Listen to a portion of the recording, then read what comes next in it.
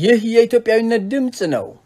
የኢትዮጵያዊነት ድምፅ ኢትዮጵያውያን ወደ ሕግ የበላይነት የሚያደርጉትን ጉዞ እንዲሁም ትግል ተልዕኮ በማድረግ ኢትዮጵያውያንን ያግዛል።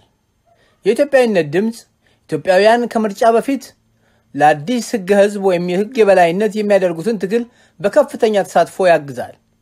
በኢትዮጵያውያን ላይ የሚደርሰውን ሞትና ግፍ ይዘግባል፣ ያወግዛል። ጥቃቶች ከመድረሳቸው በፊት ዜጎች እንዲከላከሉ የማንቃት ሥራ ይሰራል። እንዲሁም ለሰላም ወዳዱ ዓለም አቀፍ ማህበረሰብ የማሳወቅ ሥራ ይሰራል። የኢትዮጵያዊነት ድምፅ እድል ላላገኙ ዜጎች ኢትዮጵያዊ ሀሳባቸውን የሚያሰሙበት መድረክ ይፈጥራል። ይህ የኢትዮጵያዊነት ድምፅ ነው።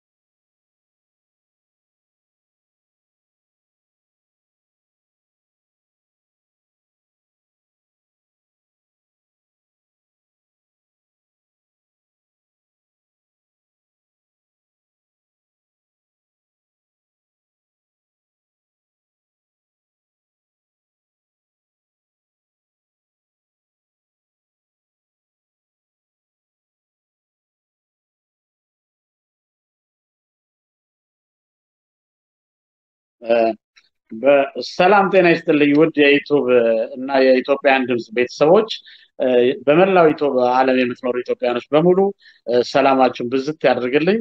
ዛሬ ለፕሮግራማችን እና ያለብን የኢትዮጵያ ችግር በማስመልከት አንዳንድ ወሳኝ ነገሮችን የሚያስረዱን ያለውን ሁኔታ በትክክል ተንትነው የሚያቀርቡልን ትንታግ የሆኑ እንግዶች አቅርቤ ያለው ራሳቸውን በማስታወቅ ይጀምራሉ።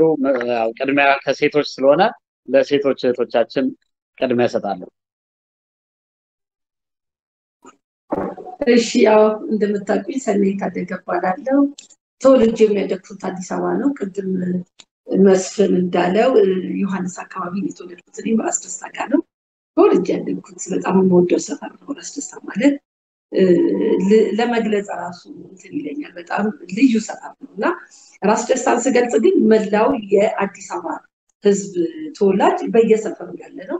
አንድ አይነት ፍቅር፣ አንድ አይነት ባህሪ ያሳደገን ይመስለኛል። ሁላችንም የአዲስ አበባ ልጆች የተለየ ነገር አለን ብዬ አስባለሁ። በዚህ እኮራለሁ። የሆነ ስሜታችን የተገናኘ ነው እና ሰናይት ነው የሚባለው። እንግዲህ እንደምታውቁት ወደ ጉዳያችን እስከምንገባ ድረስ ስሜን አስተዋውቂያለሁ።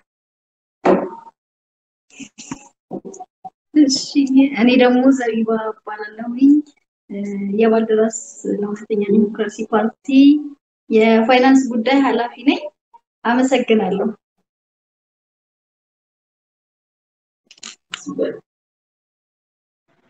እሺ ቢኒያም ራስን አስታውቅም። ጤና ይስጥልኝ እንደምን አመሻችሁ። እኔ ስሜ ቢኒያም ዳኜ ይባላል። ተወልጄ ያደግኩት ልደታ ሰፈር ልጅ ነኝ። በሁለት ሰፈር ኖር ያለው ወደ ቀጠና ሁለት እና ልደታ አብዛኛውን ጊዜ ትውልዴና እድገቴ ልደታ ነው። የምኖረው ከኢትዮጵያ ውጭ ነው። በስዊዘርላንድ ሀገር ነው የምኖረው።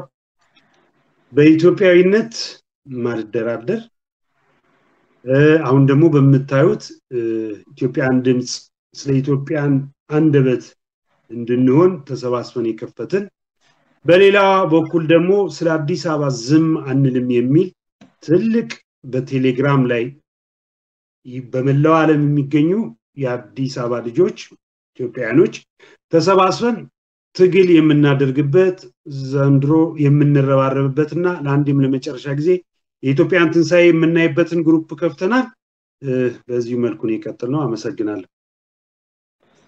እሺ በጣም አመሰግናለሁ ሁላችሁንም። በራሳችሁን አመጣጣችሁን አድራሻችሁን በሚገባ አስተዋውቃችሁናል። እንግዲህ የመጀመሪያ ጥያቄ እና ያሉንን ነገሮች የምንጀምረው አሁንም ከሴቶች ነው ቅድሚያ ለሴቶች ነው እና እህታችን ሰናይትና ዘቢባ በአዲስ አበባ ውስጥ በመሀል ከተማ ላይ ሆናችሁ ለከተማችን የሚደረገውን ለውጥ እና ማግኘት አዲስ አበባ ሆነች ማግኘት የሚገባንን ነፃነት ለማግኘት ብዙ ጥረት እንደምታደርጉ እናርቃለን። ግን መጀመሪያ ትንሽ ለመጥቀስ ያህል ሰናይት እህታችን በነበረው በግል ህይወትሽ ውስጥ የኢትዮጵያን የአዲስ አበባን አቀማመጥ ለመቀየር የመንግስት ባለው የስልጣን እድል ተጠቅሞ መታወቂያ ከአግባብ በላይ እየታደለ እንደሆነ እና የአዲስ አበባ ህዝብ የማያውቀው ሴራ በማጋለጥ ትልቅ ጀግንነት የሰራሽ ጊዜው ጣይቱ ብለንሻል እና እስቲ ትንሽ ያን ነገር ካደረግሽ በኋላ ስለነበረው ሁኔታ ትንሽ መግለጫ ስጭንና ከዛ በኋላ ወደ ጥያቄዎች ይሄዳለሁ። መታወቂያውን ካሳወቅሽልን በኋላ የተደረገውን ሴራ ከገለጽሽልን በኋላ በህይወትሽ ላይ ምን ገጠመሽ? እንዴት አይነት ሁኔታ ላይ ነው ያለሽው? ትንሽ ማወቅ ስለሚገባን ስለ እሱ እስቲ። አመሰግናለሁ። ያው በቦሌ ክፍለ ከተማ ውስጥ ነበር የምሰራው እና በጣም የሚገርም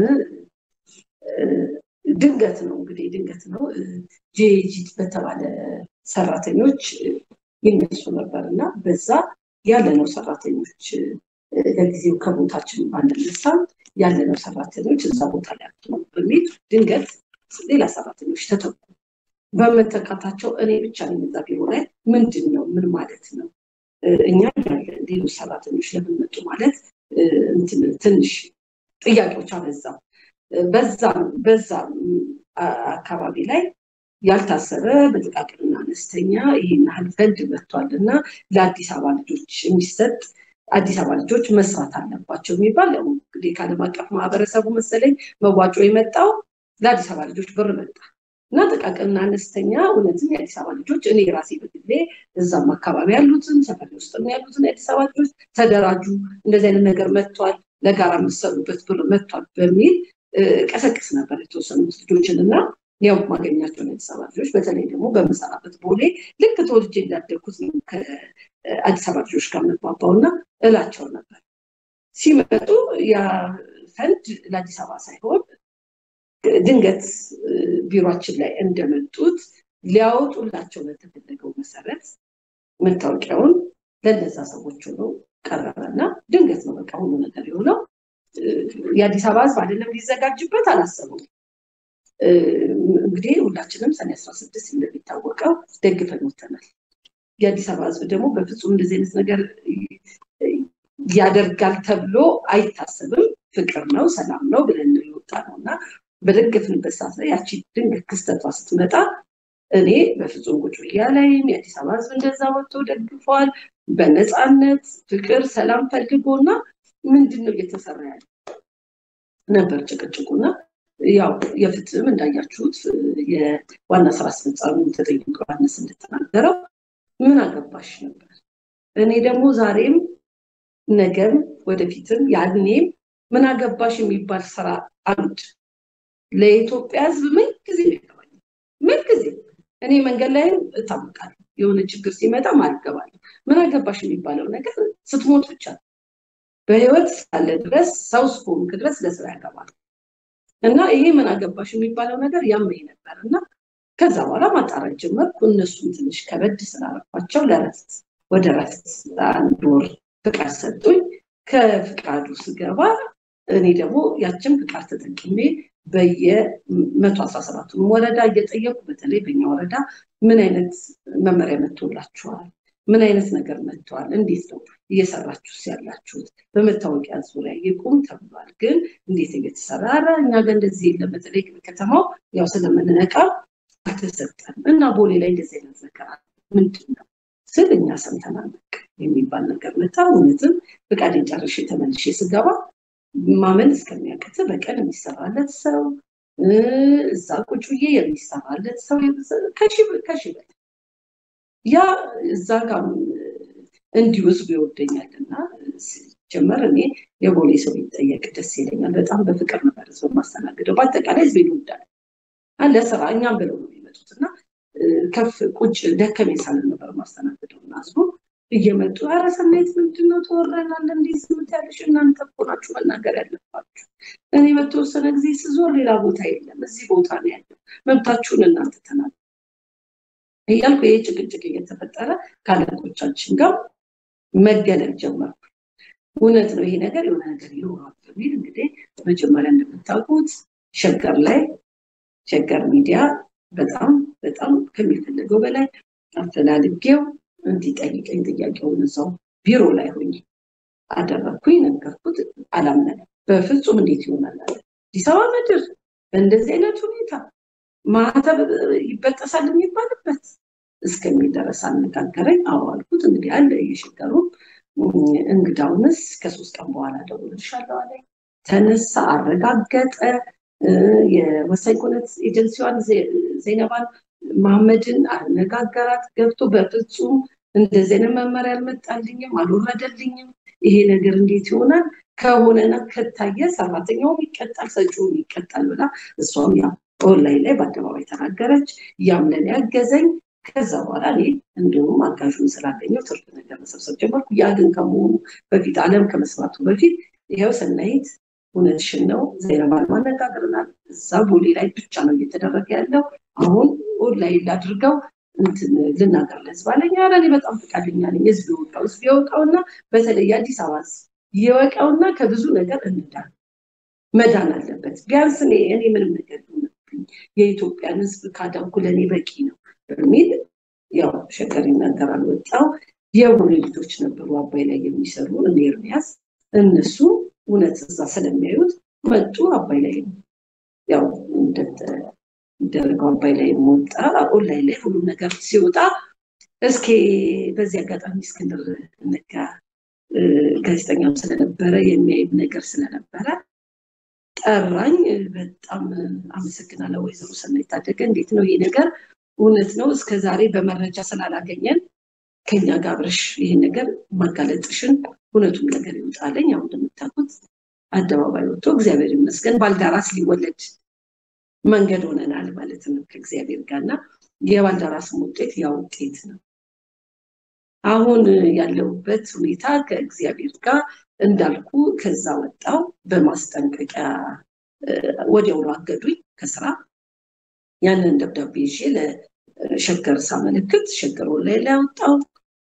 በፍጹም እንዴት ያስወጡሻል አየ ከዛ ብዙ የኢትዮጵያ ሕዝብ በጣም ደግ ነው። ተሯሩጠው በይ እንዳትገቢ ሌላ ችግር ያመጡብሻል የውሸቱን በጣም በሚገርም ሁኔታ ታከለ ኩማ ግቢ ወደ ስራ ትመለስ እነዛ የነሱ የሚል ደብዳቤ ጽፍ ያለው አለ ለህዝብ አንድም ቀን ጽፎ አያውቅም። እንኳን እንደዛ ሊሆን እውነት መስሎኝ ሲሄድ ሌላ ደብዳቤ በምትኩ በምንጠይቃት ጊዜ ጠይቃታለን በዲሲፕሊን ኮሚቴ። ስለዚህ እስከዛ ስራዋን ትቀጥላሉ። ብገባ የሚመጣውን ነገር እናያለን። በዛው አይ ይሄማ ደብዳቤው እኔን አይመጠነኝም ብዬ ቀረው። ያንን ደብዳቤ እንደዚሁ ህዝብ እንዲያውቀው ኦንላይን ላይ ያደረግኩኝ። በዛው እነዛ ሰዎች እዛ ጋር ሲከራከሩ የነበሩት ባልደራስ ተከፍቶ እያሳደዱን እያሳደዱን ቢሮ ድረስ ይመጡ ነበር። ከዛም በኋላ ቤቴ ድረስ በጣም ብዙ ቤቴ መጥተው ፈትሸው እህቶቼን እስከ ማስጨነቅ ደርሰው ከዛ በኋላ ነው ትንሽ እግዚአብሔር ይመስገን አሁን ነገሮቹ ዓለም ሲሰማው እየቀነሰ እየቀነሰ መጥቶ እኔም እንትን አለው። ይሄ ምንም ነገር ቢያስፈራሩ ምን ቢሉ ምንም ወሰነ የምትወጣው ነገር ነው፣ የሀገር ጉዳይ ነው። ምክንያቱም ወገኖቻችንን በየግራና ቀኙ የምታየው በቀስት እየተመቱ የኔ ደም ነው፣ ለኔ ለኔ ደሜ ነው እና ያ ስሜት እኔ ውስጥ አለ። ነገም ይሄ አዲስ አበባ ምድር ላይ ያ እንዳይከሰት ነበረ የፈለግኩት እና አልሆነም። እነዛንም ያየ ነው በዛ በወቅቱ ባጋለጥ ነው ቢቆምልን ኖሮ ወይ ደግሞ ህዝቡ ቢሰማ ኖሮ መንግስትም እንደ መንግስት እርምጃ ይሄ ነገር ምንድን ነው እውነት ነው ወይ ይሄ ነገር የተሰራው ነገር እውነት ነው ወይ ብሎ ለህዝቡ ትክክለኛ ነገር ቢቀርብ ዛሬ አዲስ አበባ እንደዚህ ተወራም አናይም። ዛሬ አዲስ አበባ ልጅ ዛሬ መብት የለውም። በትክክለኛው መንገድ ቁጥበን ኮንዶሚኒየም ስንት ቀን ከሁሉ ነገራችን ጨርሰን ቆጥበን ለብዙ ነገር መብታችንን ሁሉ ትተን እንዲህ ይቅር እስቲ ነገ ለልጆቻችን እናስቀምጥ እኛ የምንፈልገው ነገር ይቅር እያለን የምንቆጥበው ኮንዶሚኒየም እንኳን ተወስዶብናል። እንደነሱ የቀበሌ ቤት የለንም። በየትኛውም መስመር መጥተው የቀበሌ ቤት የያዙት ዛሬ ቆጠር ቢባል እነሱ ናቸው። አንድ ነገር የአዲስ አበባ ልጅ ተጠቃሚ ሆነ ስለዚህ የግድ ለአዲስ አበባ የምንጮህ እኛው አዲስ አበባ ልጆች መሆን አለብን። የግድ ነው ይሄ። ስልጣን በአዲስ አበባ ላይ ቢሆን ኖሮ የአዲስ አበባ ሰው እርስ በእርሱ ይተዋወቃል፣ ኑሮውን ያውቃል። የአዲስ አበባ ሰው በነፃነት መኖር ለኢትዮጵያ ሕዝብ በሙሉ ተርፎ ነፃነትን ያሳይ ነበር። ግን በስልጣንም አይደለም በስልጣን በቢሮ ላይ የአዲስ አበባ ልጅ መብት የለውም እና ይሄ ነው ባጭሩ። የምጠይቁኝ ነገር ካለ መልሳለሁ። እሺ፣ በጣም እናመሰግናለን እህታችን ሰናይት፣ በደንብ አድርጋችሁ ገልጸሽዋል። እኔ አሁን ከአስተላለፍሽው እና ካስተማርሽን ወሳኝ ነገር የወሰድኩት አንቺ የራስሽን ድርሻ እስክንድርም ቢሆን የራሱን ድርሻ እንደ ባልደራስም እንደ ግልም ሌሎች ወንድም ይዞ አድርጋችኋል፣ ታግላችኋል። ከኛ ከወጣቶች ግን የሚጠበቀውን ነገር አላደረግንም። ሰናይት ለእኛ ስትታገል ለእኔ እንደሆነ ማወቅ ነበረብኝ። በዛ ሰዓት ባለማወቄ እዚህ ደርሷል።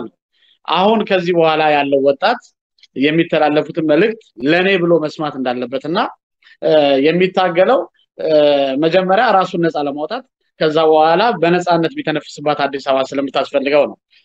ወደ እህታችን ዘኒባ ሲሄድ ሰናይት ካለችው ላይ ጭማሪ ባልደራስ ባለው ሁኔታ እነ እስክንድር እስር ቤት በገቡበት ሁኔታ ላይ ቢሆንም በምን አይነት ሁኔታ ነው ያለው? ምን እየሰራ ነው? ከባልደራስ ከሚሰራ ውጭ ወጣቱ አዲስ አበባ ወጣት ምን ይጠበቅበታል የሚለውን እስቲ ሰፋ አድርገሽ ዘርዘር አድርጊ።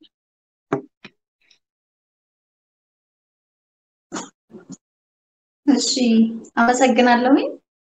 ያው እስክንድር ደስ የሚለው part ቢታሰሩም ብዙ እስክንድሮችን ብዙ ስንታየውን ብዙ አስቴርን ብዙ አስካለን ሰርተው ነው የሄዱት።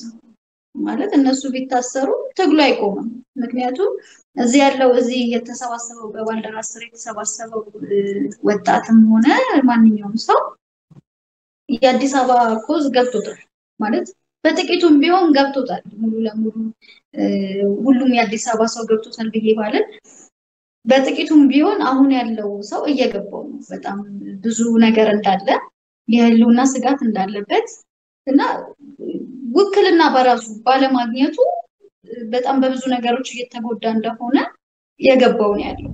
ስለዚህ እዚህ ያለው ወጣት የእነ እስክንድርን ጉዞ ለማስቀጠል በጣም ጥሩ ላይ ጥሩ ሁኔታ ላይ ነው ያለው። ማለት ብዙም እንደ በፊቱ አክቲቪዝሙ ቢቀዘቅዝም just ቢሮ የማደራጀቱ ቢሮ የመስራቱ ቢሮ የመመስረቱ ጉዳይ ተጠናክሮ ቀጥሏል። ምንም እንትን ያለ የተቋረጠ ምንም እንትን ያለ ነገር የለም። በዛ ላይ የውስጥ ስራዎች የድርጅት ስራዎችን እየሰራን ነበር የቆየ ነው። ፍቃዳችንንም አግኝተናል። ከዚህ በኋላ ከምርጫው የሚያግደን ምንም ነገር አይኖርም ማለት ነው።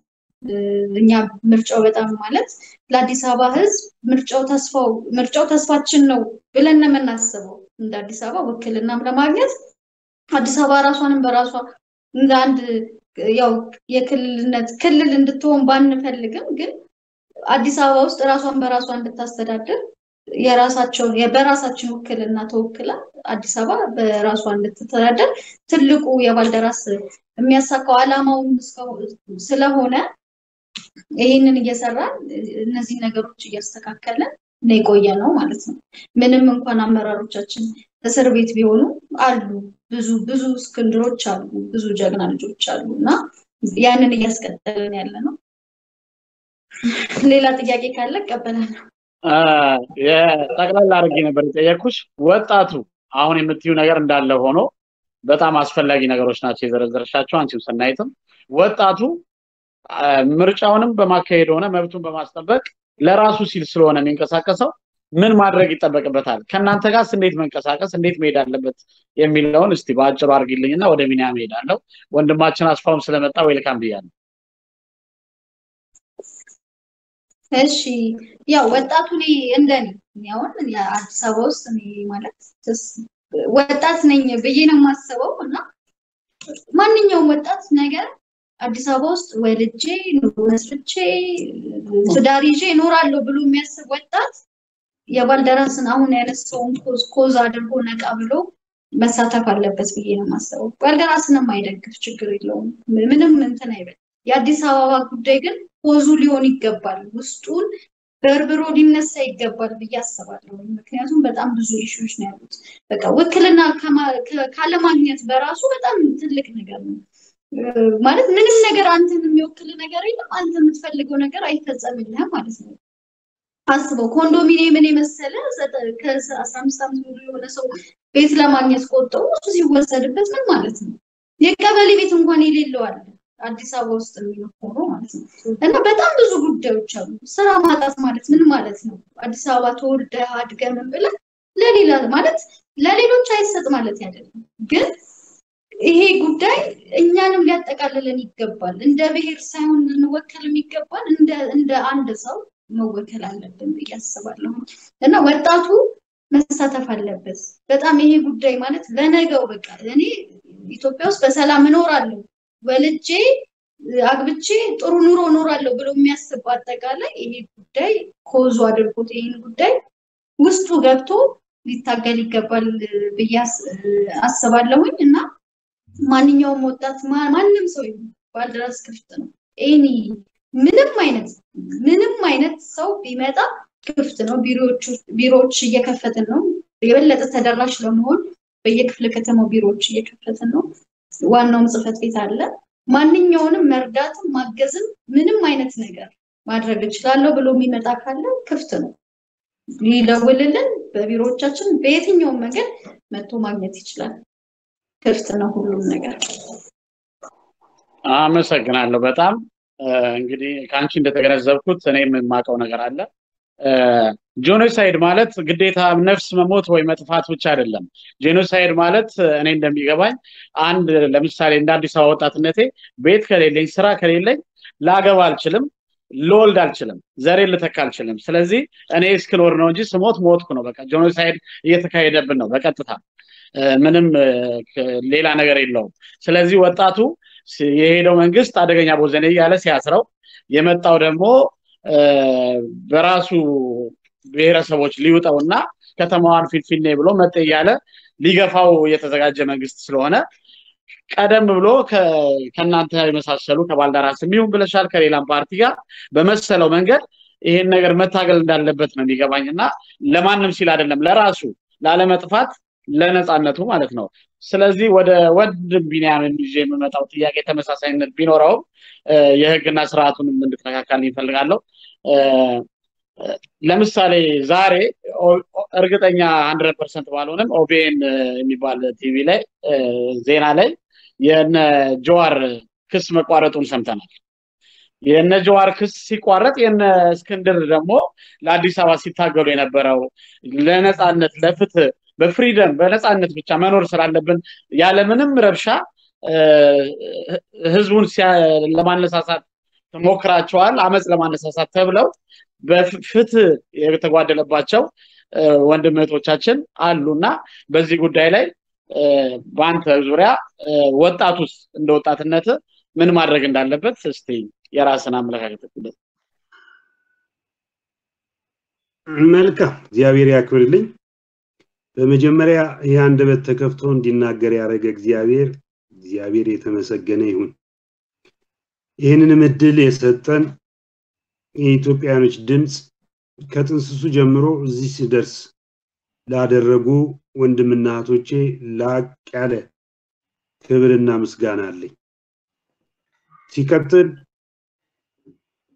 ልክ እንደ ኢትዮጵያን ድምፅ ስለ አዲስ አበባ ዝም አንልም የሚል ራሱን የቻለ ትልቅ ግሩፕ አለ በቴሌግራም ላይ። እነኚህ ልጆች በዓለም ላይ የተሰባሰቡ ኢትዮጵያውያን የአዲስ አበባ ልጆች ናቸው እና ለእነሱም ላቅ ያለ ምስጋና አለኝ።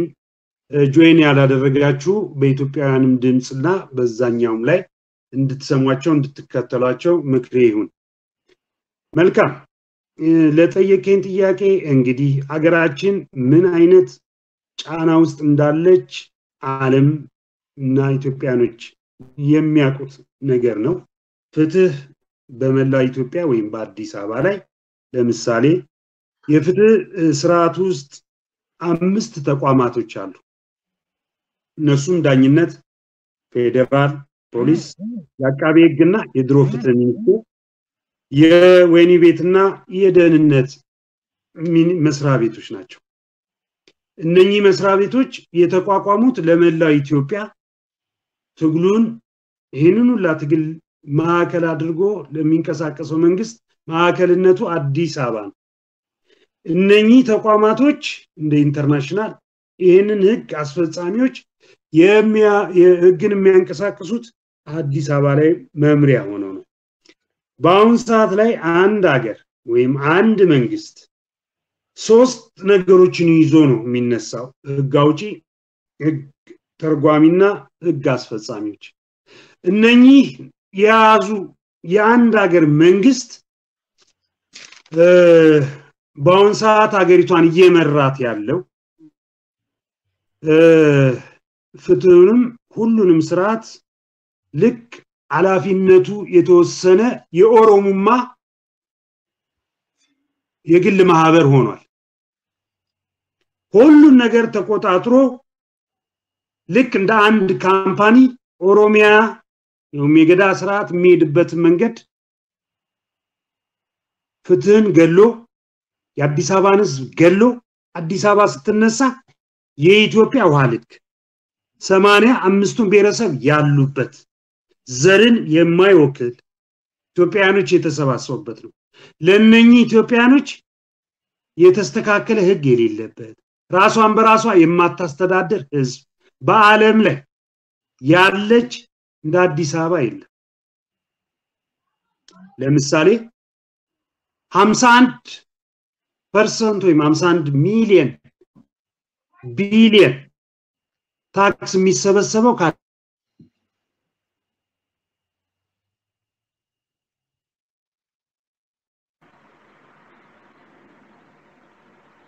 እሺ ወንድማችን ቢኒያም connection problem መሰለኝ እስኪመለስ የራሳችንን ሌላ ሀሳብ እየሰጠን እንቆያለን። ቢኒያም ተመልሷል መሰለኝ። okay ተመልሼ የመጣው እነኚህ ህብረተሰብ በቆሎ ቀቅለው አምባሻ ሸጠው ወንድሞቼ የሰው ቤት ዘበኝነት የቀን ሙያ ሰራተኛ ሆነው በሰበሰቡት ታክስ ግማሹ ኢትዮጵያ ሙሉ ለሙሉ ያስተዳድራል። ለሰበሰቧት ታክስ ምላሽ የተሰጣቸው አምስት ሳንቲ ነገር የለም። ይህን ሁላ ታክስም ከፍለው ቆጥበው በሰሩት ኮንዶሚኒየም የዘመኑ ኦሮምማ አራማጁ መንግስትና ጉልበተኛው እነ ያለ አምስት ሳንቲ ህግ ባለበት ሀገር ሲያባርረው ያው አይተናል። ዛሬ በአዲስ አበባ ላይ እኔ ያደረግኩትን ልብስ በኮተቤ ትላንት ቃና ዘገሊላ እንዳያችሁት ወደ ቀራኒዮ ለብሼ መሄድ አልችልም። ይህ ማለት አንድ ሀገር የመንግስት የትግል ማዕከል የሆነችው የዱርዬ መከማቻ እንደፈለጉ በብሔር ብቻ በቋንቋ ብቻ መንግስትን መስርት ኦሮሞማ የሚባል እንደፈለጉ የሚሆኑበት ሀገር የሆነች ብቸኛዋ አዲስ አበባ ነች። የአዲስ አበባ ህዝብ ተሳቆ ወጥቶ ገብቶ የሚኖርበት አይደለም። እንደፈለገ ሆኖ ሰርቶ የሚገባበት ህዝብ አይደለም። ዛሬ እንደሰማነው በኦሮሚያ ሚዲያ ጀዋር ክሱ እንዲቋረጥ ተብሏል። አይደለም ክሱ እንዲቋረጥ ነገ ሀገሪቷን በጉልበት ያለ ህዝብ የሚያስተዳድራት የኦሮሙማ መንግስት ነገ የውጭ ሌንጮ ባቲን አማካሪ ያደረገ ነገ ከስራ ወጥቶ ጠቅላይ ሚኒስተር ምክትል ያደርገዋል። ይሄ ሊገርመን አይችልም። ስርዓቱ ኬኛ ስርዓቱ በፍቅር በህግ ያልተመሰለ ህገ ህዝብ የሌለው ስርዓት ስለሆነ በቋንቋና በብሔር ላይ የተመሰረተ ስለሆነ ከዚህ በላይ ምንም አንጠብቅ። እስክንድር ብዙ አመት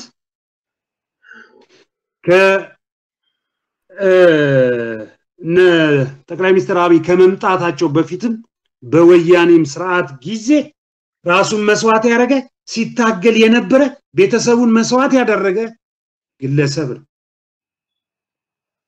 ከተመቻቸ ከአሜሪካ ኑሮ መጥቶ ወደ እሳት ወደ ረመጥ የወረደ ሰው ቢኖር እስክንድር ነው።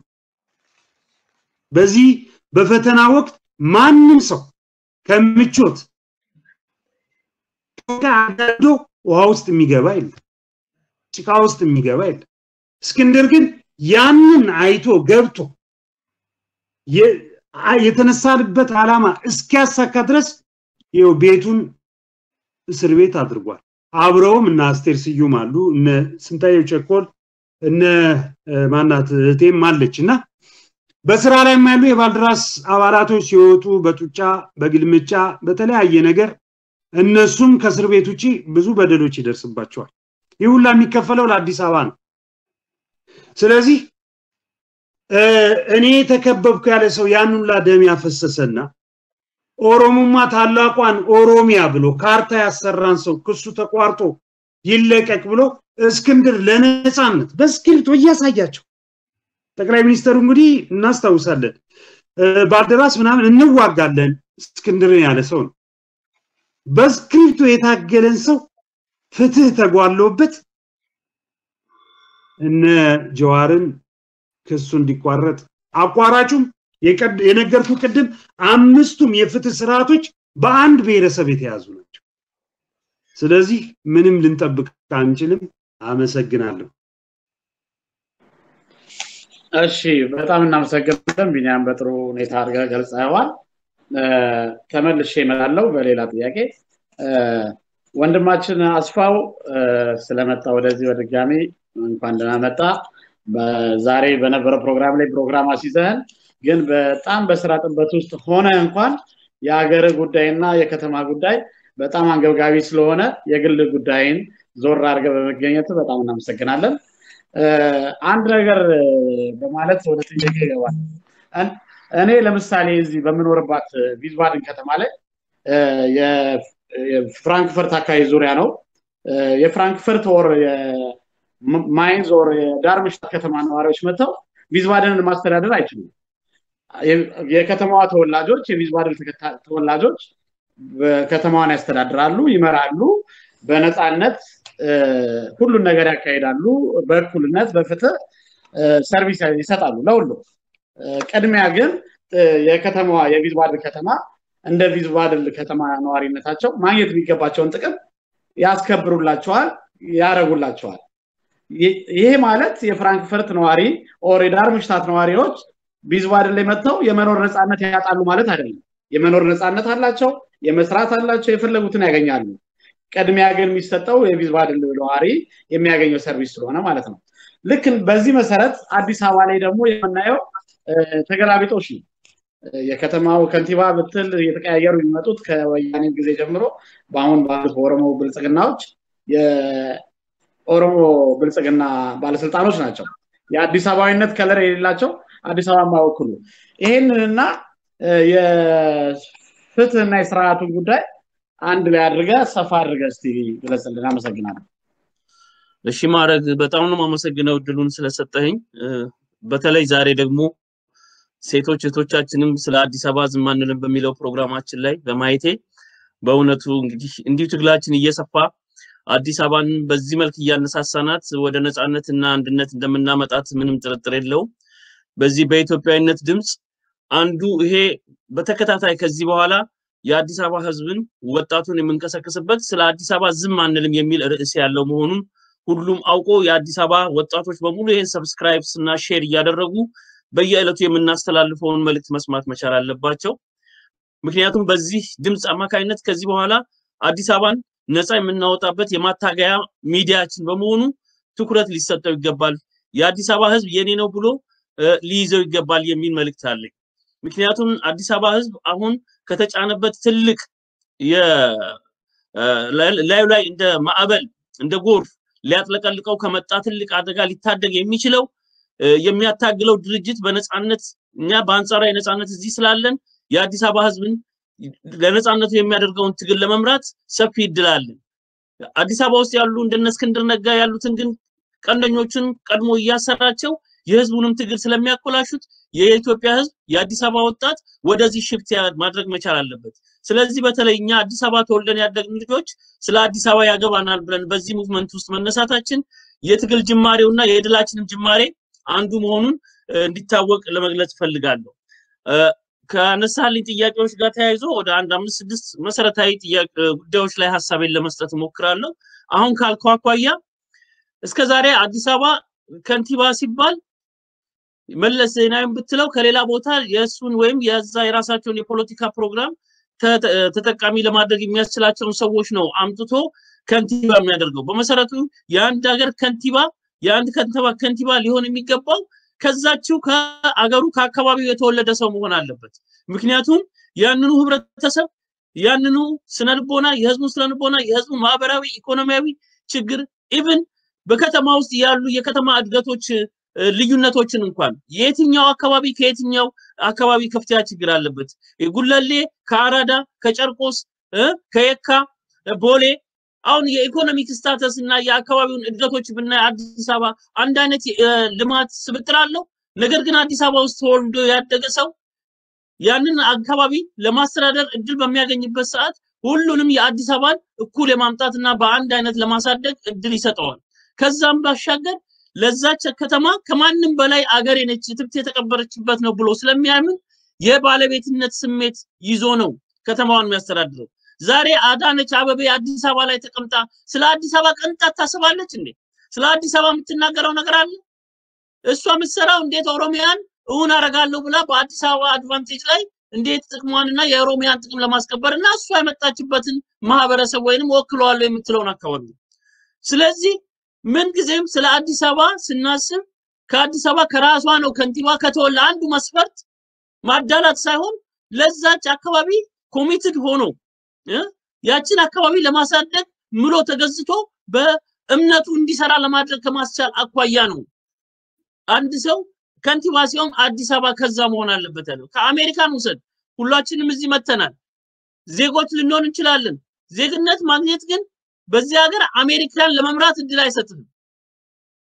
የአሜሪካን ለመምራት ያኔ ትዝ ይላችሁ እንደሆነ ባራክ ኦባማ ለስልጣን ሲወዳደር አንዱ ሲተራመሱበት የነበረው ነገር ኦባማ አሜሪካ አልተወለደም ተወልዷል። እስከ ታች እስከ ልደትና ሄዶ እስከተወለደበት ሆስፒታል ድረስ ሰርተፍኬቱን እስከመፈለግ የሚሄድ ነው። ለምንድን ነው ያ? የዚችን አገር የኔ ነው ብሎ ሌላ የተወለደባትን አገር እንደማያስብ ቃሉንና እምነቱን በሙሉ ለዚች ሀገር መስዋዕትነት ለመክፈል ይሰጣል። አይክደንም።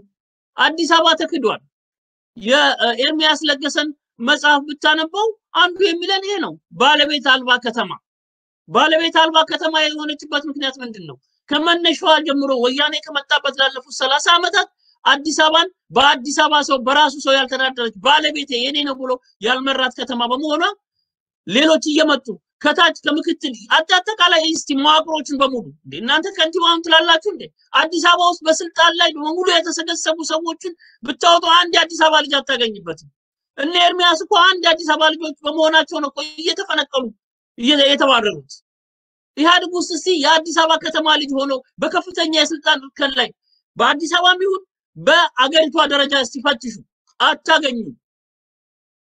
ስለዚህ አንዱ መስፈርቱ መሆን ያለበት የአዲስ አበባ ህዝብ ከንቲባዬን መርጣለሁ ብሎ የሚያስብ ከሆነ ከአዲስ አበባ የተወለደ መሆን አለበት። ከአዲስ አበባ ለአዲስ አበባ የሚያስቡ ምሁራኖች፣ intellectual አዲስ አበባን የዓለም ከተማ ሊያደርጓት የሚችሉ ብቃት ያላቸው ልጆች አሏት። ስለዚህ ይሄ መታሰብ መቻል አለበት። ከዛ አኳያ ነው ወደ ሌሎቹ ሀሳቦች ስመለስ፣ አንደኛ ይሄ ትግላችን እንዴት ብሎ መቀጠል አለበት። አንደኛ አዲስ አበባን ከኦሮሞማ ከኛ ፖለቲካ ውስጥ እንዴት ነፃ እናውጣት የሚል ነው። አዲስ አበባ ላይ ትልቁ ዘመቻው አሁን በምርጫም ይሁን በምን የሚካሄደው ነገር በሙሉ አዲስ አበባን ጠቅልለው ኦሮሚያ መለስ ዜናዊ የሰጣቸው ካርታ ነው ብለው ይሄ መለስ ዜናዊም በፊት ለራሱ አመቺ ሲሆነው ወደ ናዝሬት ሂዱ ብሎ ተላላኪዎችን በሙሉ ናዝሬት አዳማ ከቷቸው ነበረ ኦህዴድ የሚባሉትን። በኋላ በ1980 97 ምርጫ ደግሞ ሲነጠቅ ተመልሳችሁ ግቡ ነው ያላቸው። ምን ያህል አዲስ አበባ የፖለቲካ የዲፕሎማሲ የስልጣን ማዕከል እንደሆነች የኛ ስራ አብይን ሆነ ኦሮሞማን ከሚያስደነግጠው አንዱ ትግል ይሄ ስለ አዲስ አበባ ዝም የምንለው ትግል እንደሚሆን አትጠራጠሩ። ወደፊት ትልቅ ትግል ነው። አይደለም አዲስ አበባን ኢትዮጵያን ነፃ ሊያወጣ የሚችል የኢትዮጵያን አንድነትም የሚጠበቀው አዲስ አበባ ነፃነቷ ሲጠበቅ ነው። እስክንድር ነጋ ገና ስለ አዲስ አበባ መቋቋምና መነሳት ሲጀምር ጦርነት ከፍትብሃለሁ ያለውን የአብይን ቃል አትርሱ። በደንብ ተረድተውታል ምን ማለት እንደሆነ።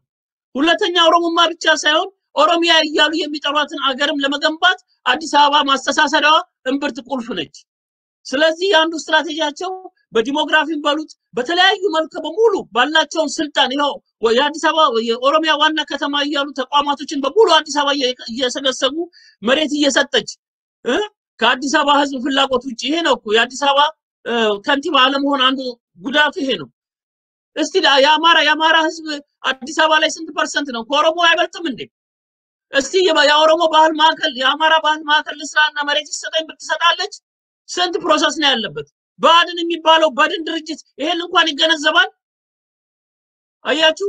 ዛሬ ግን የኦሮሚያ የሚባለው ተቋማት ከፖሊሱ ከፍትህ ከምናምን ጀምሮ እንዳለ አዲስ አበባን የኦሮሚያ ዋና ከተማ ነው የሚያደርጓት። አይደለም አዲስ አበባነቷ እየቀረ ይሄዳል። ስለዚህ የኦሮሞማን የጎርፍ ፖለቲካን ለመታገል የአዲስ አበባ ቁልፍ እጁ ላይ ነው። አንደኛው እንደ ሀገር እንደ ኢትዮጵያ በኢትዮጵያ ውስጥ ቀጣዩ ምርጫ መካሄድ የሌለበትና ሪፈረንደም መቅደም ያለበት መሆኑን የኢትዮጵያ ህዝብ ማሰብ ነው። ሪፈረንደም ማለት የመከላከያውን የፖሊስ ሰራዊቱን የፍትህን የምርጫ ስርዓቱን በሙሉ ከመንግስት እጅ አውጥቶ የህዝብ ተቋም የሚያደርግና ዲሞክራሲ ስርዓትን የሚያስከብር system ነው። ያ በተባበሩት መንግስታትም ውስጥ ያለ ነው። ይሄንን ኢትዮጵያ አምና የፈረመችበት ነው። ስለዚህ ኢትዮጵያ ውስጥ ያለው ህገ መንግስት የኢህአዴግ የፖለቲካ ፕሮግራም እንጂ ወይም ወያኔ ስልጣን ላይ በነበረበት ጊዜ ራሱን አመቺ ሆኖ ሊገዛ በሚያስችልበት መንገድ የተቀረጸና አንድም ኤርትራን ለማስገንጠል የተቀመጠ አንቀጽ ያለዛም ደግሞ ትግራይ ራሷን ችላ መገንጠል በምትፈልገው እኮ ሞክረው ነበር እኮ ከሄዱ በኋላ አልተሳካላቸውም እንጂ እኮ ዲፋክቶ መንግስት እያሉ ሲያንጃብቡ ነበር። ነገር ግን ዲፋክቶ መንግስት መሆን በዚች አሁን ባለው ዓለማችን ተጨባጭ ሁኔታ ብዙ የማያስገዳቸው ነገር ስላልሆነ እንደገና ወደ ስልጣን ተመልሶ ለመምጣት ወይም ለመደራደር ነበር የሞከሩት። ስለዚህ አንቀጹን ያስቀመጡት ለዛ ነው። ከዛ ውጪ ኢትዮጵያን አዲስ አበባን የሚጠቅም ነገር የለም። ስለዚህ ምናልባትም ከምርጫው በፊት ሪፈረንደም እንዲካሄድ አጠቃላይ የኢትዮጵያ ህዝብን ማሳመፅና ትግሉን መርቶ ህዝቡ constitutional referendum አካሂዶ የስልጣን ባለቤት ህዝብ እንዲሆን ማድረግ ቅድሚያው ሊሆን ይችላል። ነገር ግን ይሄ እድል ይሄ ውሳኔ በእኛ ላይ ብቻ ሳይሆን ግመሎች ይሄዳሉ፣ ውሻዎች ይጨዋሉ እንዳለው መለስ ዜናዊ ያው ዶክተር አብይ የመለስ ዜናዊ ቅጥቅጥና የእሱ ስሪት ስለሆነ ህዋት የሚባለውን ስርዓት እንኳን ከገደለ በኋላ ለህዋት ሐውልት ያቆመለት የህዋትን ከፋፋይ ያ ሁሉ መድረክ ላይ ሆኖ ሲያወራው የነበረ ግፈኛ ስርዓት አሸባሪ እያለ ያንን የአሸባሪና የግፈኛ ስርዓት ነው መልሶ እየተከለብን ያለው እንደውም በባሰ ሁኔታ በባሰ ሁኔታ። ስለዚህ ማድረግ ያለብን ያ አንደኛ ኮንስቲቱሽኑ እንዲቀየር ግፊት ማድረግ ነው። ይሄንን ግንዛቤ ወጣቱም ሁሉም እንዲማረውና እውቀት እውቅና እንዲሰጠው ማድረግ ነው። ከዛ ውጭ ግን በእኛ እጅ ላይ ስላልሆነ እድሉ በተለይ ምርጫውን እናካሄዳለን ካሉ እንደ ባለፈውም ተናግር ያለው እያንዳንዱ እድሜው አስራ ስምንት ዓመት የሆነ የኢትዮጵያ ህዝብ ቀድሞ የምርጫ ካርዱን መውሰድ አለበት። ከኦሮሞማ መንጻት የሚችለው መዳን የምትችለው አዲስ አበባ ካርድ ሲወሰድ ካርድ መውሰድ የኢህአዴግን ወይም የዶክተር አብይን ስርዓት ማረጋገጥ ላይሆን ይችላል። በዚህኛው መቁረጥ ካቃተህ ወደ ታች ትቆርጣለህ። የምንይዘው ነገር ቢላ ሁለት በስ ሁለት የተሳለ ቢላ መሆን መቻል አለበት። ያ ማለት የምርጫ ካርዳችን ነው። ብንችል ሪፈረንደም እንዲካሄድ ነው። ሪፈረንደም የማይካሄድ ከሆነ ግን አዲስ አበባ ውስጥ እነ እስክንድር እንኳን ታስረው ቢቀመጡ ፓርቲ ውስጥ ካለና እጩዎቹን በአዲስ አበባ ውስጥ ማቅረብ እስከቻለ ድረስ ሙሉ እጩዎችን በመምረጥ አዲስ አበባን እውነተኛ ተወካዮች እንዲኖራት ማስደረግ አዲስ አበባን የራሷን እውነተኛ ተወካዮች በራሷ ከአዲስ አበባ ውስጥ የወጡ ሰዎችን ብቻ መርጠን ምክር ቤቱ የምንሞላው ከሆነ ነገ የአዲስ አበባን ፌት ወደ ስቴት ሁድ ወደ ክልል አስራ አራት የመመለስ እድላችን ከፍተኛ ነው።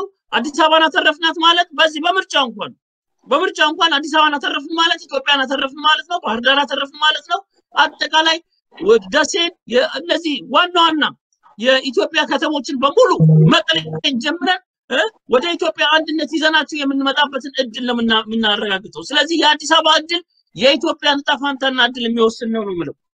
ስለዚህ እሺ አስፋ ወንድማችን በጥሩ ሁኔታ አድርገህ ተንትነዋል። የቀሩ ሀሳቦች እንዳሉ አውቃለሁ። በሁለተኛው ዙር ተመልሼ እመጣለሁ። ወደ እህቶቼ ነው የምመለሰው። እንግዲህ በመሀል አዲስ አበባ ላይ ሆናችሁ ትግሉን እያፋፋማችሁ ያላችሁ የዘመኑ ጣይቶች ናችሁ። እናንተ እናንተን ያብዛልን። ቅድም አሁን አስፋው ሲናገር እንዳለው መለስ የመለስ ቅጥቅጥ ማለት ነው። አብይ ማለት ምንም የተለወጠ ነገር የለም። ቋንቋን የተለወጠው ከትግረኛ ወደ ኦሮመኛ። ለአዲስ አበባ ምንም የተፈጠረ ነገር የለም። እናቶች ይጸልዩልኛል ይላል፣ እናቶች ያሳርዳል። ኢትዮጵያን እግዚአብሔር ይባርካት ይላል፣ ኢትዮጵያን ለመከፋፈል ተነስቷል። እና short memory ም ይለናል። እኛ ምንም እንደማናስታውስ እሱ ብዙ ነገር እንደሚያውቅ ነው የሚሰማው እና ይሄንንም በተመለከተ ሌላው ደግሞ እነ እስክንድር እነ እስክንድር ነጋ በዚህ ሰዓት የእነ ጀዋር ድምፅ ማይካል እነ እስክንድር ነጋ በተመለከተ ለእናንተ ለባልዳራስ ለፓርቲያችሁ ምን የደረሳችሁ አዲስ ነገር አለ? ምክንያቱም እነ ጀዋር ክሳቸው ሲቋረጥ እስክንድር ነጋ ያለምንም ኃጢአቱ ምንም ሳይሰራ በእነ ጀዋር ምክንያት ነው ለማቻቻል ይሁን ምንም በማይገባ ለመናገር በማይገባ መንገድ ፍትህ ተጓድሎ እስር ቤት ያሉት። በዚህ ጉዳይ ላይ ሁለቱንም እስቲ አያይዛችሁ ሌላም የራሳችሁ ሀሳብ ካለ ጨምር አድርጋችሁ እድሉን ለእናንተ ከፍታለሁ። እሺ፣ አመሰግናለሁ። በእስክንድር እስር ዙሪያ ያው የዓለም ሕዝብ ያውቀዋል። እስክንድር አይደለም አይደለም ሰዎችን እንደዚህ አድርጋችሁ እንደዚህ መልምላችሁ እንደዚህ አስወጡና አዲስ አበባን እናስወርድ ብሎ ሊል አይደለም ለክስ የሚቀርብ ሰው አጠገቡ ያለ ሰው ይመሰክርለታል። እስክንድር እንደዚህ አይነት እንትን ላይ የሚሳተፍም ሰው አይደለም። ሰላማዊ ትግል ነው ይዞ የተነሳው። እውነትም ደግሞ ትክክለኛ ሰላማዊ ነገር ነው ይዘን የተነሳ ነው ባልደራስ። ግን ያው የመጣው ወራሪው በእስክንድር ሰግቷል። እስክንድር ፍርሃት አያውቅም። እስክንድር እውነትን ይዞ ነው የሚጓዘው። እስክንድር እግዚአብሔርን ያውቃል፣ ፈራ እግዚአብሔር አለበት እና ለዚች ለኢትዮጵያ ሕዝብ ይመስለኛል ሙሉ ሙሉ ህይወቱን ያሳለፈ ሰው ነው እስክንድር ማለት። ስለዚህ አሁን እንደዚህ በአጠቃላይ ወሮ የመጣውን ነገር ገና ከመጀመሪያው ለማዳን ነው ውስጣቸው እየገባ ሲታገል ይላል። ይሄ ደግሞ እኔ አይደለም የምናገረው ያለም ሕዝብ ይናገርለት። ጀዋርን እና እስክንድርን አብሮ ማሰር በራሱ ትልቅ ኃጢአት ጀዋር ከመጀመሪያው እስከ መጨረሻው ኢትዮጵያ ሊያጠፋ የመጣ ሰው ይመስለኛል። ምንም ጥያቄ የለውም። እኔ በነበርኩበት ቦታ ላይ ስሰራ በነበረበት ቦታ ላይ ጀዋርን እንዴት ብለው እንደሚገልጹት መናገር ያቅተኛል። አንድም አንድም አዲስ አበባ ውስጥ አንድም ክርስቲያን አናይም ነበር የሚባል አንድም የሚሉ ሰራተኞች ነበሩ ከኔ ጋር አብረው ሲሰሩ ነበር። አንድም ክርስቲያን ያንን ደግሞ አዲስ አበባ ሳይገባ በዳርዳሩ አይተነዋል። ስለዚህ ይሄንን ለማንቃት ነበር እስክንድር የሚታገለው። ከእስክንድርና ከጀዋር ጋር ምን አገናኘው? እስክንድርና ጀዋርን አብሮ ማሰሩ በራሱ እኔ ነገ ከዳኛው እስከ መንግስት ህሊናቸው ተጠያቂ እንደሚሆን መቼም ጠያቂ ያለ አይመስለኝም። ኢትዮጵያ ውስጥ እግዚአብሔር ነፃን አምጥቶ በዚች በትግላችን ቅድም ወንድም ተናግሮታል። አዲስ አበባ በራሷን በራሷ አስተዳድራ ዛሬ እንደምናየው ጁንታዎችን የሚሰሩትን ስራ ወደ ፍርድ ካላቀረብን በስተቀረ የአዲስ አበባ መሪ እስካልመጣ ድረስ ፍትህ ይገኛል ብዬ አላምንም። ምክንያቱም በቅርቡ እስክንድርን ፍርድ ቤት ሄደን ስንጠይቀው ለምን ካሜራ ተቀረጽን ተብለን ሀያ ሰባት ነው ሀያ ስምንት የምንሆን የባልደራስ አባሎች አንድ ቀን ሙሉ ቀን አውርደውናል። ምክንያታቸው ራሱ አልተገለጸ። የባልደራስ ደጋፊ ብቻ ናችሁ። የባልደራስ ደጋፊ አዲስ አበባ ውስጥ አይፈልግም። ምክንያቱም እውነት ይዞ ነው የተነሳው ባልደራስ። ባልደራስ ትክክለኛ ነፃነት ፈልጎ የተነሳ ፓርቲ ነው። ሰላማዊ ትግል የያዘ አንድም ጠጠር የማይዝ ምንም ነገር የሌለን ቢፈተሽ እኮ ከነ ምስክሩ ቢሮችን ሲፈተሽ እስክሪብቶ ብቻና ወረቀት የተገኘ ሰላማዊ ትግል የሚያቋቁመውን ነው መንግስት እያሳደደ ያለው። እንደውም እኛ ለመንግስት አይን ነበር ደጋፊ ነበር። እውነት ትክክል የሚሰራ መንግስት ቢሆን ኖሮ ባልደራስ ለሱ ደጋፊ ነበር። የሚሰራው ስህተት አላቅም ታች ወርጄ ስለማላይ እያሉ የሚሉትን መሪዎች እኛ ስንሰጠው ያንን ቦታ እያጣራ ትክክለኛ ውሳኔ መውሰድ ነበር። ለትክክለኛ ኢትዮጵያ ለፍትህ የተነሳ መንግስት ቢሆን ባልደራስ ይደግፈው ነበር። ባልደራስን አሳምኖ መንግስት ነበር የሚደግፍ፣ ግን አልሆነም። ምክንያቱም ይህንን ነው አሁን ለህዝብ ማሳወቅ የምንፈልገው። ባልደራስ ፍጹም ንጹህ፣ ፍጹም ሰላማዊ ታጋይ ነው። ፍጹም ንጹህ። መንግስት ይህንን ስላልደገፈው እየተከታተለ እኛን ሲያሳድድ መንግስት ምን እንዲሰራ እየፈለገ እንደሆነ ህዝቡ ማወቅና መንቀት አለበት። በቃ ህዝቡ በትክክል ማወቅ አዲስ አበባን በራሷ እንድትተዳደር የአዲስ አበባ ህዝብ ወጥቶ ይሄንን ጊዜ ለማንም ሳይል ለራሱ ሲል የአዲስ አበባ ህዝብ መስዋዕት የሚከፍልበት ነው። ትልልቆቹ ምሁራኖቹ ለልጆቻቸውን ሲሉ የአዲስ አበባ ልጆች ምንድን ነው ነገ ቢሆኑት በትምህርት ቤት በየትኛው በየትኛውን አዲስ አበባ ነው የሚረጋው? ስለዚህ ይሄ ለራሳቸው ለመብታቸው ሲሉ የሚታገሉት ነው። ወንድሜ ቅድም ብዙ ተናግሮታል። በእስክንድርና በጀዋር በኩል ግን አይደለም እኔ አለን የሚመሰክረው ሁለቱ አንድ ላይ ልንጠይቃቸው ስንሄድ ራሱ ስናያቸው ከወንጀለኛ ጋር ሲታሰር ማየቱ ራሱ በጣም ያሳዝናል። ከወንጀለኛ ፍጹም ንጹህ ሰው ፍጹም ታማኝ በቢሮ ላይ ያለነው እንመሰክርለታለን አብረን የምንሰራው ፍጹም ለራሱ ሳይል ለህዝብ የሞተ ያለ እየሞተ ያለ መሪ እስክንድር ነጋ የኢትዮጵያ ህዝብ እንዲያውቀው ፈልጋል። ነገም ዛሬም ለራሱ ሳይል ለሱ እየታገለ እንደሆነ በእስር ቤትም ሳይቀር አርያችን ነው እና ስለ እስክንድር ነው የምለው። ስለ ጀዋር ሁላችንም የምናውቀው ነው። ቄሩ ቤታችን ድረስ እየመጣ ቀጨራ እየመከረው የጁሃር ውጤት ነው ይዞ እየመጣ በየቢሮችን ጎራዴ እየያዘ ያኔ እኮ ቢሮችን ድረስ ሲመጣ እኮ ፖሊስ ያግዘው ነበር። ለመሆኑ አዲስ አበባ ፖሊስ አላት ወይ? አዲስ አበባ እኮ ዘጠና ሰባት ፖሊሷ ተበትኗል። ዛሬ ፖሊስ አላት ወይ? ነገስ ምርጫው ሲካሄድ ያለ ፖሊስ እንዴት ነው የምናካሂደው? አዲስ አበባ እኮ ባዶ ናት። ፖሊስ የላት፣ መሪ የላት። እኔ እኮ አንዳንዴ ምንም ሳስበው እንትን ይለኛል። በአዲስ አበባ ጉዳይ ላይ ሳስበው ሁሉም ገብቶ እንደፈለገው ቢያደርጓት እኮ ራሷን አስተዳድራም ለራሴ ብሎ የሚያስተዳድራት መሪ ፖሊስም የላትም።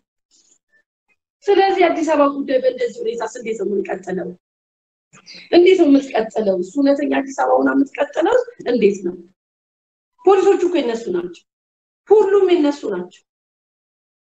ስለዚህ ነፃ የሚወጣ አሁንም ቢሆን ከህገ መንግስቱ ያመጣው ስርዓት ነው። ይሄ ምንም ጥያቄ የለውም። ዛሬ ለምንከፋፍልበት ከህገ መንግስቱ የተቀዳው የስርዓት ውጤት ነው። ሁሉም ጋር ያለው በየክፍለ ሀገሩ ብትሄድ የተሰጣቸው እዛ ጋር ያለው ሰው ያስተዳድራል። ሌላው መጤ ተብሎ አዲስ አበባ ላይስ መጤ ለምን አይሆኑም? ለምን አዲስ አበባ ልጅ በራሷ አታስተዳድርም? እና ለምን አናስተዳድርም?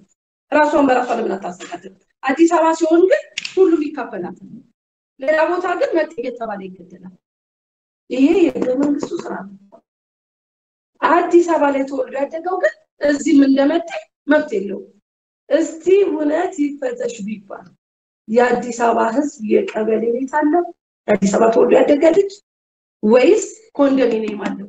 ወይስ የኮንዶሚኒየም ሱቁ አለው? መቶ percent እንደው በምንም አይነት ጥያቄ ብጠየቅ የአዲስ አበባ ልጅ ምንም የለውም። እስቲ አውጥተን አይብሬጅ እናምጣ። በጠቅላላ በፊቱ በህዋት በህዋት ጊዜ እንዳለ ወረው ወረው ወረው እንዴ ኮንዶሚኒየም እኮ ሲወጣ ለእንትን ግዳይ ምናምን ምናምን ነበር። አሁን ደግሞ ከበደ ለማ ምናምን መገርሳ የአዲስ አበባ ልጅ አንድ አንድ ነገር ይሄ በሆነበት ሁኔታ ላይ እኔ የአዲስ አበባ ወጣት ለራሱ ሲል መብቱን የሚያስከብርበት እቺ ምርጫ ናት። ምርጫው በነቂስ ወጡ መርጦ መብቱን አስተዳድሩ ምንም ይምጣብን። ከዛ በኋላ የሚመጣውን ነገር እግዚአብሔር ያውቃል። ከእግዚአብሔር ጋር እንትን ይሏል። መርጦ ባልደራስም መርጦ መብቱን ካላገኘ እውነትም ደግሞ ለነፃነቱ ለእኩልነቱ በትክክለኛው መንገድ ባልደራስ የተከፈተለት አዲስ አበባ እኔም እኔም ስወጣና ስታገል ለአዲስ አበባ ልጆችና ለአዲስ አበባ ህዝብ የታገልኩት ይህንን ሁልጊዜ መናገር ፈልጋለሁ። ለአዲስ አበባ ልጆች በቢሮዬ ላይ ሲጨቆኑ ለማያቸው የአዲስ አበባ ልጆች የአዲስ አበባ እናቶች ያለቅሳሉ። ቢሮ ላይ መብት የላቸው። አንድ ቀን መብት ኑሯቸው ሰርተዋል። እስቲ ሰርቻለሁ የምትል የአዲስ አበባ ልጅ በሚዲያም ሆነ በእኔ እንደው በግልም ትምጣና ታምጣለህ። አንድ መብት የለን ከእኔ ከአዲስ አበባ ነዋሪዋ ልጅ ጨምሮ ይሄ መብታችን ተገፎ እስከ መቼ ነፃነትን እናውጣ። ቢያንስ ወጥቶ ልጆቻችን ሰላም ይሁኑ። በነፃነት ሁሉ ነገር ሞትም እንኳን በትግል ላይ ሞት እንኳን እናንተ ከሀገር ሀገር ወጣችሁ በዘጠና ሰባት በረሃ ቋርጣችሁ ስትሄዱ ለነፃነት አይደለም ነፃ እንሆን እስቲ በቃ ሀገራችን አልተሳካላት። ዘጠና ሰባት ምርጫ ነው ብዙ ብዙ ወጣት በጎርፍ የሄደው ምክንያቱም በየቤቱ የመጣብን መከራ ነበር።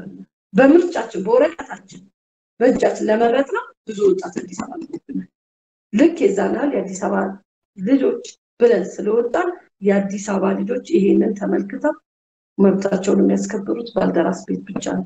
ስለ እስክንድር ነጋ መጮህ አለበት። አዲስ አበባ እሺ እህታችን ሰናይት በአሪፍ ገልጸዋለች። ለእህታችን ዘኒባ የምጠይቃት አብሮ እንድታነሳ የፈለገው ጥያቄ በእርግጥ በደንብ ብለሽዋል። እኛም አዲስ አበባ እያለን ቤት የእግዚአብሔር ኮንዶሚኒየም የገብረ እግዚአብሔር እያልን እናሾፍ ነበረ። ግን በራሳችን ላይ የቀለድን እስከ መቼ እንደዚህ እንደምንቀጥል አላቅም።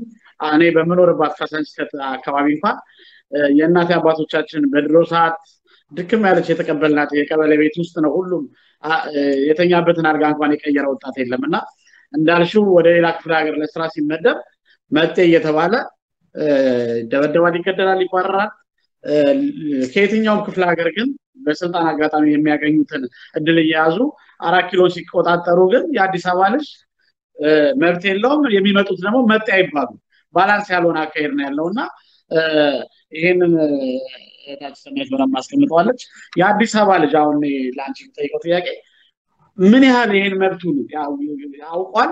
አሁን ያለበት የመጣበት ያለው አደጋ አዲስ አበባ ልትወረር እንደሆነ ከወያኔ በከፋ መጤ ተብሎ በቤቱ እትብቱ በተቀበረበት ከተማ መጤ ተብሎ ሊታረድ ሊገፋ እንደሆነ በሲስተም ውስጥ ሊያስሩትና ሊጥሉት እንደሆነ ምን ያህል ተረድተዋል? ሁለተኛ ነገር ደግሞ እህታችን ሰናይት አልመለሰችልኝም። በደንብ ብዙ ስላበራራችሁ የነ እስክንድር አሁን ያሉበት የፍትህ ሁኔታ በእነ ጀዋር የክስ መቋረጥ ተያይዞ ምን ምን የደረሳችሁ ነገር አለ ወይ? ምን ታውቃላችሁ? አመሰግናለሁ። ተጨማሪ ቃል ለመስጠት ነው። ካሜራችሁ ሙሉ ለሙሉ አትገቡም። አንዳንዴ ስትጫወቱ ሰናይት ስትነጋገሩ ሙሉ ለሙሉ እንዲታይ ወይ ትንሽ ራቅ ማድረግ ይኖርባችኋል። አሁን ጥሩ ነው ያለው፣ ግን አስተካክሉ። አሁን ጥሩ ነው ያለሽው። አሁን ጥሩ ነው።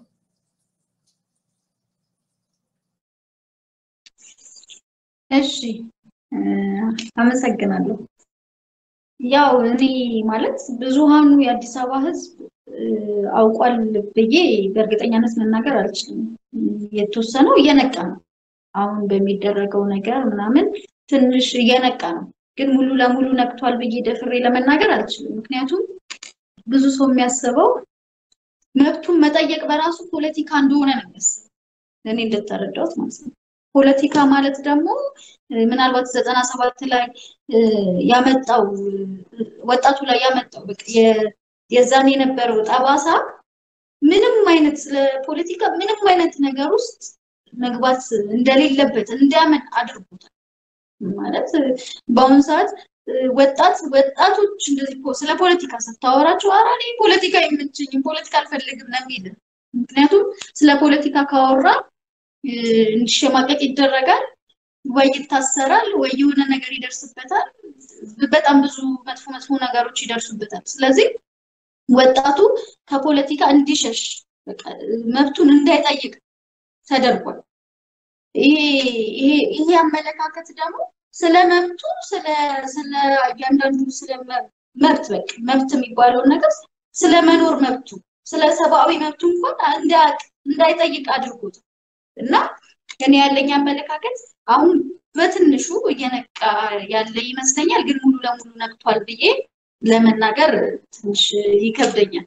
ማለት የህልውና ስጋት እንዳለበት የመኖር አዲስ አበባ ውስጥ የመኖርና ያለመኖር ጥያቄ ነው እየተነሳ ያለው። ምክንያቱም አንዱ የኔ ናት ይላል፣ አንዱም የኔ ናት ይላል። የሆነ ነዋሪውን ምንም ታሳቢ ሳያደርግ ብቻ በብሔር ብቻ የኔ ናት የኔ ናት እያለ የራሱ ሊያረጋት የሚፈልግ ህዝብ ሰዎች በሚኖሩበት ሁኔታ ይሄ cause ገዝቶት ለዚህ ትግል አለመውጣት ማለት እንግዲህ ታኝቷል ማለት ነው።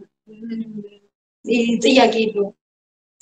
ቢቻል ኖሮ ሁሉም ህዝብ ይሄን ነገር cause አድርጎት መተከል ላይ ለሚፈጸመው ነገር እንትን እኮ መስጠት ምላሽ መልስ መስጠት እኮ አለበት። ሁሉም እኮ ይሄን ነገር ማውገዝ አለበት። ነገ እኔ ላይ ይመጣል ብሎ ጥያቄ መፍጠር አለበት። ስለዚህ ሙሉ ለሙሉ ነቅቷል ለማለት አልችልም። የነቁ በደንብ የነቁ አሉ፣ የበሰሉ ሰዎች በጣም የነቁ ሰዎች አሉ። በዛው ልክ ደግሞ ምንም የማይመስላቸው ነገ እነሱ ላይ ሊመጣ እንደማይችል በቃ ከነሱ በጣም የራቀ አድርገው የሚያስቡ ሰዎች አሉ። መሀል ላይ ደግሞ በቃ ግራ የገባቸው የተወዛገቡ ሰዎች አሉ። እኔ ደግሞ የራሴን የግሌ ማበርከት አለብኝ ብለው ደግሞ የሚያስቡ ሰዎች አሉ እና አዲስ አበባ ላይ ያለው አመለካከት ተከፋፍሏል። ግማሹ ምንም የማይመስለውም አለ። ግማሹ ደግሞ አይ እኔ ለውጥ ማምጣት አለብኝ መታገል አለብኝ ብሎ ደግሞ ቆርጦ ተነስቶ ብዙ የሚታገሉ በባልደራስም የመጡ ሊመሰገኑ የሚገቡ ጎበዝ ወጣቶች፣ ጠንካራ ወጣቶች እንዳሉ አሉ እና ይሄ ነገር እኔ አሁንም የምለው ኢትዮጵያ ሁሉም ሰው የሚከባበረባት የሁሉም ብሔር፣ የሁሉም ሃይማኖት፣ የሁሉም መብት። አንድ ሰው እንደ ሰው ሰው በመሆኑ ብቻ የሚ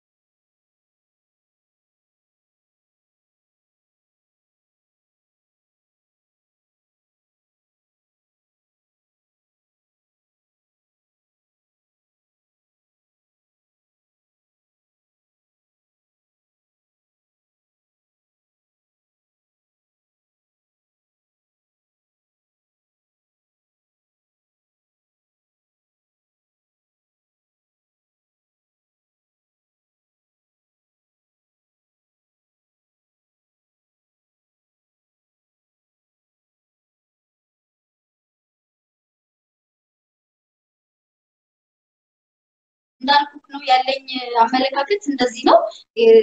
ድምጾች ተከፋፍሏል። በቃ የህዝቡ የመንቃት መጠን ተከፋፍሏል ብዬ አስባለሁ።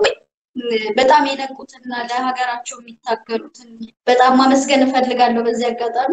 ማለት በቃ ኮዙ ገብቷቸው አዲስ አበባ ማዳን ኢትዮጵያ ማዳን ነው ብለው የሚሰሩ የሚለፉ ህይወታቸውን መስዋዕት ያደረጉ በጣም ብዙ ልጆች ብዙ ሰዎች አሉ። በዛው ልክም ደግሞ በቃ እኔ ምንም አይመጣብኝም፣ ምንም ችግር የለውም፣ ምንም ቢፈጠር ምንም አያገባኝም፣ ምንም እንደማይመስለው ሆኖ ደግሞ የተኛ በጣም የሞቀ ብርድ ልብስ ውስጥ የተኛ ህዝብ አለ።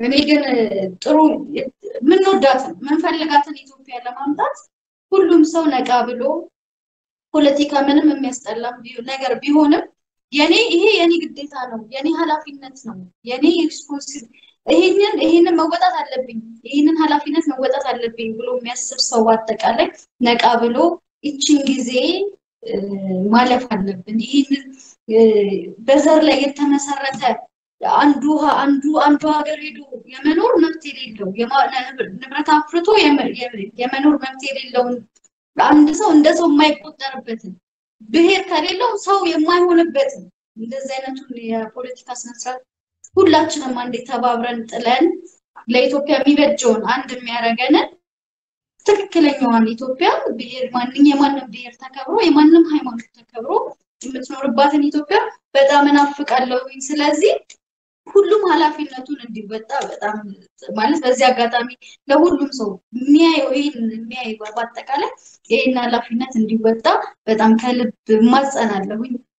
ወደ ሁለተኛው ጥያቄ ሲሄድ የእነ እስክንድር የፍርድ ሁኔታ እስካሁን ምንም የሰማነው ነገር የለም። የጀዋርንም እንዳጋጣሚ ቅድም ስብሰባ ነበረ አልሰማንም። ስብሰባ ላይ ሆነን አዲስ የሰማነው ነገር የለም። ግን ያው ተስፋ አለን ይፈታሉ ብለን በጣም እኔ እኔ በተለይ በጣም ባለሙሉ ተስፋ ነኝ። ማለት በቃ ይፈታሉ። እኔ በልቤ ማስበው ይፈታሉ ብዬ ነው። እንግዲህ የእነሱንም ጥሩ ዜና ያሰማን እላለሁ። አመሰግናለሁ። አሜን። አብሮ ያሰማን። እናመሰግናለን። እውነት ነው መፈታትም አለባቸው። በመጀመሪያም ሲጀመር ፍትህን የተጓደለው እንደውም ከካሳ ጋር ነው መፈታት ያለባቸው። በጣም በሚዲያ በአደባባይ ይቅርታ ተብለው ካሳ ተከፍሏቸው ትክክለኛ መንግስት ካለ ማለት ነው። ወደ ወንድሜ ቢኒያም የማመጣው ጥያቄ የአዲስ አበባ ልጅ የተማረው በተማረበት፣ ባለሙያው በሙያው፣ ነጋዴው ደግሞ በንግዱ በተሰማራበት ሰር እንደ ልቡ በነፃነት ሰርቶ አገሪቷን በምትፈለገው እድገት ደረጃ ላይ አድርሶ ለመኖር በመጀመሪያ ነፃነት ያስፈልገዋል፣ ከለላ ያስፈልገዋል። የኔ የሚለው ጠባቂ፣ የኔ የሚለው ከላይ። ቅድም ሰናይት እንደተናገረችው በአሁኑ ሰዓት even ፖሊስ እንኳን የአዲስ አበባ ፖሊስ የለም። ፖሊስ ለምሳሌ ምርጫውን አደረግን እና ምርጫው ቢጭበረበር የሚከላከልልን የኔ የምንለው ተቋም የለም። ስለዚህ ይሄ ነገር በዚህ መቀጠል ስለሌለበት በዚህ ላይ የምትለውን እንድትልልን እና ስለ አዲስ አበባ ዝም አንልም የሚል እንቅስቃሴ ደግሞ በመላው ዓለም ላይ ጀምረናል። እዛ ውስጥ እኔም አባል ነኝ። ይሄ ስለ አዲስ አበባ ዝም አንልም ብለን የጀመርነው እንቅስቃሴ ምን መስራት እንደሚፈልግና ምን እየሰራ እንደሆነ ሁለቱንም አጠር አድርገህ በጥሩ ሁኔታ አስቀምጥ። መልካም፣ እግዚአብሔር ያክብርልኝ። በመጀመሪያ የመጨረሻዋን ወደ መጀመሪያው አመጣዋለሁ። ስለ አዲስ አበባ ዝም አንልም ብለው የመጀመሪያው ብቸኛው ሎጎ ነው። ይህን ስም የሰጡት ልጆች majority ው በብዛት በ Middle East ያሉ የአዲስ አበባ ልጆች ኢትዮጵያኖች ቁጭት አንገብግቧቸው ነው። በአዲስ አበባ ላይ የሚደርሰውን በደል፣ ክፋት፣ ባይተዋርነት ልክ ብዙዎቹ ለምሳሌ አረብ ሀገር ወይም ሌላው ዓለም ስንሰደድ አንድ ሰው የሚደርሰውን ጉዳት ታያላችሁ። መታወቂያ ስለሌላቸው አሁን እዚህ ወደ ደቡብ አፍሪካ ሲሄዱ ታንዛኒያ፣ ኬንያ ይይዟቸዋል። ያ መታወቂያና ዜጋ ስላልሆኑ ነው። እኛ ባንያዝም በአዲስ አበባ ላይ መብትና ዜግነት አሳንሶናል ህጉ። ስለዚህ እነኚህ ልጆች ይህንን ስለ አዲስ አበባ ዝም አንልም የሚል መሰረቱ ተሰባስበው አውጥተው አወርደው እኔም አንተም እዛ ውስጥ ገብተን አሁን አባላቱ ሰፋ ባለመልኩ የአዲስ አበባን ህዝብ በማንቃት በዚህ ሰዓት ስለ አዲስ አበባ የሚሟገት ባልደራስ ነው። እውነተኛ ትክክለኛ ፓርቲ ያየ ነው። ከእምነትም ከብሔርም ሳይሉ አንድ ላይ የተሰባሰቡ እውነተኛ እውነተኛ ምሁራንም ግለሰቦችም ተሰባስበው ባልድራስን እዚህ ያደረሱትን እኛም ስለ አዲስ አበባ ዝም አንልም ከባልድራስ ጋር ቆመን ወደፊት ሳፖርት የምናደርጋቸው ስለ አዲስ አበባ ዝም አንልም ይሄ ነው ራእዩም ውጡ ነው። ሁለተኛው የጠየቀኝ ጥያቄ አዲስ አበባ ውስብስብ ነው። አሁን በመጀመሪያ አብይ አህመድ ወደ ፓርላማ ቃለ መሃላ ከመግባቱ በፊት ቪኦኤ ላይ የሰጠውን በኦሮምኛ ቋንቋ ወደ ፓርላማ ከመግባቱ በፊት ብዙ ኢትዮጵያን ያየው ይመስለኛል። የመቶ ሀምሳ ዓመት የኦሮሞን ጭቆና መፍትሄ ለመስጠት ነው የመጣሁት ይላል። እዛ ላይ ገብቶ ማየት ነው። ሁለተኛ ከምንየውም አዲሱ ጥንቄሳ የሚባል የኦፒዲዮ እዛ አመራር ውስጥ ያለ ታከለ ኡማን ያመጣ ነው። እንግዲህ ከአሊ አብዶ ጀምሮ ኩማ አንደኛው ማን ነው እንዲህ ሲመላለሱ የነበሩት ከአንድ ብሔር ነው እና አዲሱ ጥንቄሳ ምን ብለዋል? ታከለ ኡማን ካምቦ ያመጣ ነው የኦፒዲዮን ስራ ያስፈጽምልናል ብለው ነው በአፉ ተናግሯል።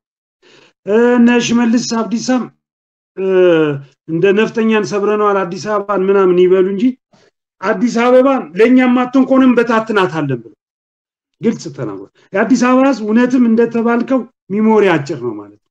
ለምሳሌ አብይ አህመድ ወታደሮች ወደ ቤተ መንግስት የመጡ ጊዜ አጭር memory እሱ እንዳለን ካልሆነ በስተቀር ግርግሩ በረደና ማታ መግለጫ እንደለመደው ያው አፈጩቤው በ push-up በምናምን አለ።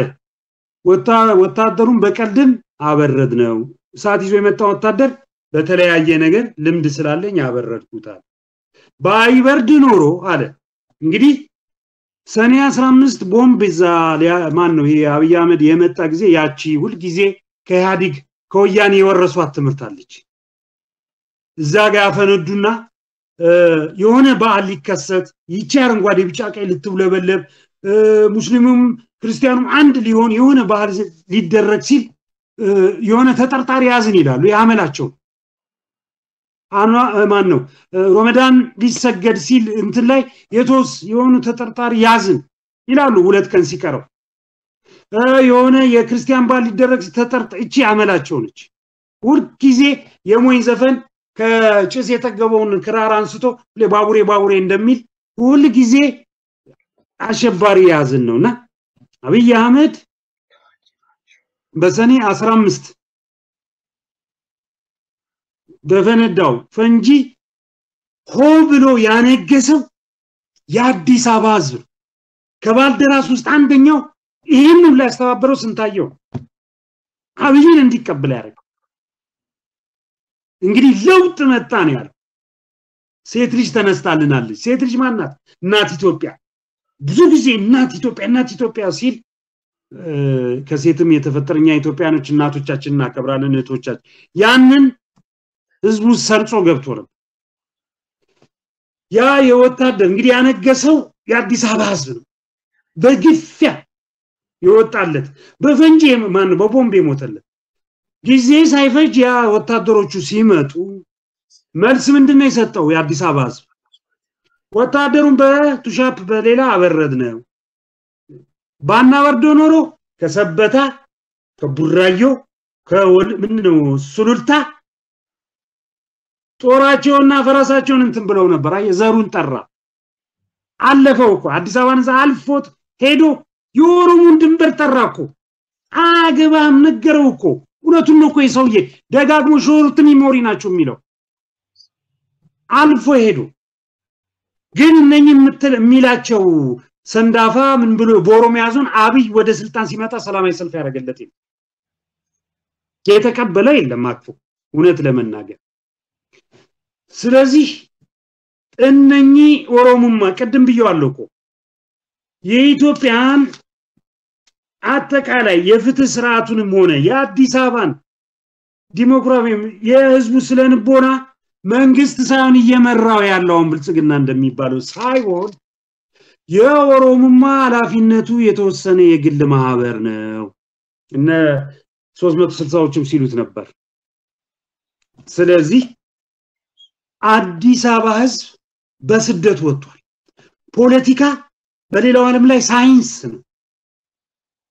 ፖለቲካን ፍራቻ ነው እኛ የምናደርገው። ፖለቲካ ሲነሳ አረ በጸበል ይላል። አይ አይጠጋም። ፖለቲካ ሁል ጊዜ ከአፈሙዝ የሚወጣ ጥይት ነው የአዲስ አበባ ህዝብ የሚያደርገው። ያ የአዲስ አበባ ህዝብ ለኢትዮጵያ መኖር ሁሉና አዲስ አበባ ከተመሰረተች 134 ዓመቷ አሁን ህዳር 13 አልፏል። ወደ ታሪክ ወደ ኋላ ተሂዶ የአዲስ አበባ ህዝብ ለመላው ኢትዮጵያ እንድትኖር ኢቭን ከሚኒሊክ ጀምሮ አድዋ አዋጅ የታወጀባት እንግዲህ ለአድዋ ከላይ ነው ያለው ወደ ትግራይ ነው አዋጅ የታወጀባት በአዲስ አበባ በያፓን በወጣቱ ያሁላ ወጣት ለመብቱም ይሁን ለሌላም ነገር እምሽክ ያለባት በአምሳ ሶስት ያሁላ ግርግር የታየባት ይሁላ የትግል ማዕከል እስከ ዛሬዋ ሰዓት ድረስ የትግል ማዕከሏ አዲስ አበባ ነች። ስለዚህ አዲስ አበባ ህዝብ ይህንን መብቱን አውቆ መቼ ነው ከሽንት ቤት ወረፋ የምንወጣው? መቼ ነው በየስራ ማስታወቂያ ግፊያ የሚኖረው? ቅድም ማዕረግ ብሎታል። እኔ የምኖርበት ከተማ ላይ ራሱ ማስተዳደር የሚችለው ትውልድ ነው፣ የተወለደው ሰው ነው። ይሄ ማለት ከኛ የኔ ብቻ አይደለም፣ ሌላው እንደሚባል ውጡ አይደለም እኮ። ይሄ ነው ህዝቡ ያልተረዳው። ማስተዳደር ማለት በቂ የተማረ የአዲስ አበባ ወጣት አለ። በጣም ብዙ አዲስ አበባ ላይ ተወልደው ያደጉ ምሁሮች አሉ። ቀበሌውን በብሔር በቋንቋ ኮታ በመንግስት በካድሬ ከሚሞሉት የአዲስ አበባ ልጅ ያ ሁላ ታክስ ይከፈላል ከአዲስ አበባ ሰው። አየር መንገድ ብዙ ተቋሞች ያሉት በኮታ ሰበብ በፓርቲ ሰበብ መጥተው የሚይዙት የፓርቲና በቋንቋ ስርዓት ውስጥ ያሉ ናቸው። የአዲስ አበባ ሰው ግን ዳር ቆሞ ነው የሚያየው ሁል ጊዜ ሁል ጊዜ። እስቲ እንመልከት።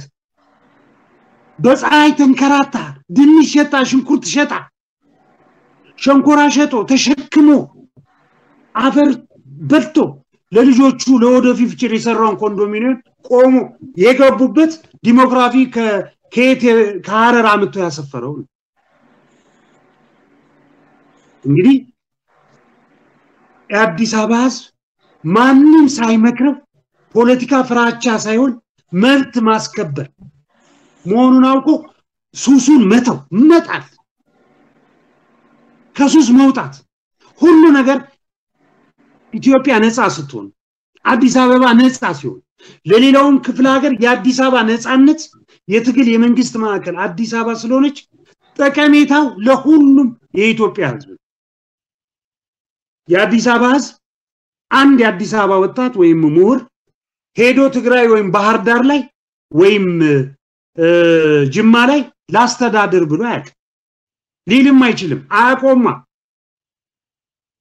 ግን የአዲስ አበባ በራሱ ፖሊስ፣ በራሱ አስተዳደር፣ በራሷቿ ልጆች ትተዳደር ነው። መንግስት እንዳለ ቤተ መንግስቱ እንዳለ ሆኖ ስለዚህ ንቃ፣ የአዲስ አበባ ህዝብ ተከተል፣ የሚያስተዳድርህን ህዝብ እወቅ፣ ለይ።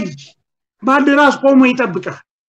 ቢያንስ እስክንድር ይህንን ሁላ መስዋዕት ወይም እስር ቤት የገቡ ሆኖ አንድ ቀን የአስር ሳንቲ ዳቦ ይህንንም ይፈራል። የአዲስ አበባ ከርቸሌ ሄዶ ለመጠየቅ ፍራቻ የሚታሰር ይመስለዋል። ዞሮ ዞሮ የተፈጠርነው እኮ ለመሞት ነው። የትም እኮ አናመልጥ። ስለዚህ እግዚአብሔር ያስፈታ ብሎ እንኳን የሄደ የለም። ምን አገባው ሰው የሚኖረው አሜሪካ ኑሮ ከልጁ ከሚስቱ ጋር ስንት የታሰረ የመታሰር እኮ ሱስ የለበትም ይሄ ሰው። ስለዚህ ይህን ካረገ የኢትዮጵያ አዲስ አበባ አለን አብረን ነው።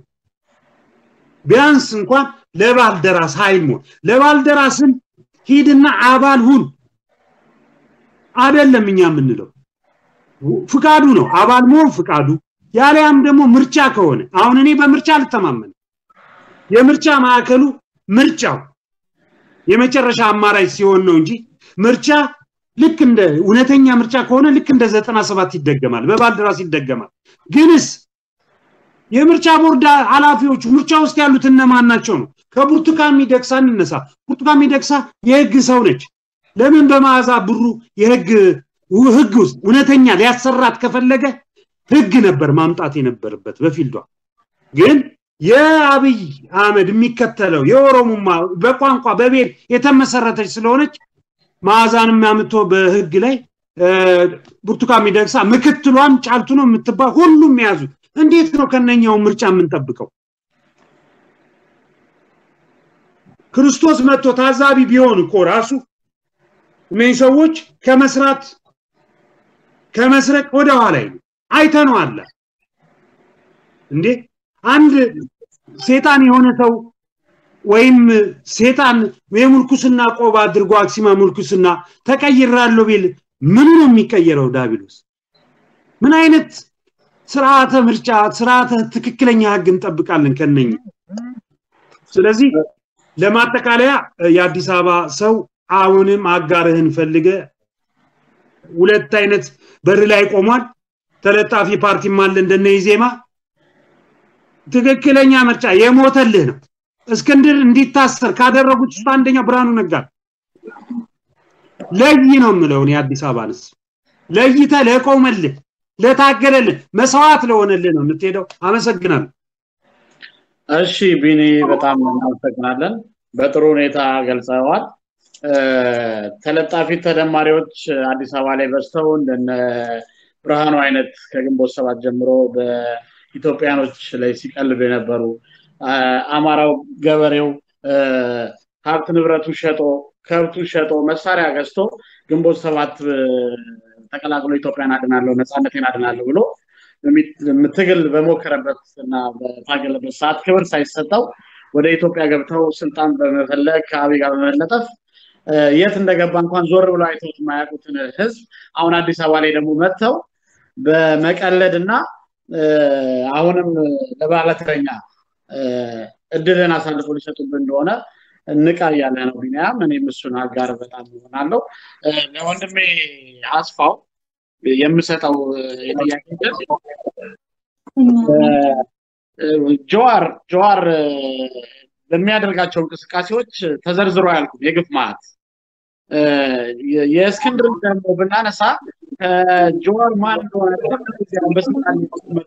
እና አብይ ለማ መገርሳ ወይ እነ ሽመልስ ማን ምን እንደሆኑ በማይታወቅበት ሰዓት የኢትዮጵያ በጋዜጣ በግሉ በተለያየ መንገድ አሁን እስከ ባልደራስ ድረስ ሲታገል የኖረ ለፍትህና ለዲሞክራሲ የቆመን ሰው ስልጣን ክስ ሂደት ሳታቋርጥ በግፍ አስረው የጀዋርን ማቋረጥ እንዴት ትመለከተዋለህ? አንድ ሁለተኛ ጀዋር የሚያደርገው እንቅስቃሴ የነበረው አክራሪ ሙስሊሞችን እና አክራሪ ጽንፈኛ ኦሮሞዎችን በመያዝ ሙስሊምንም የማይወክል ኦሮሞንም የማይወክል ግን በጣም አደገኛ የሆነ ከፋፋይና አጋዳ የሆነ እንቅስቃሴ ሲያደርግ ነበር።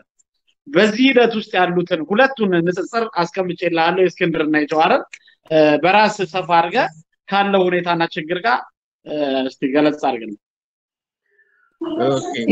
አመሰግናለሁ።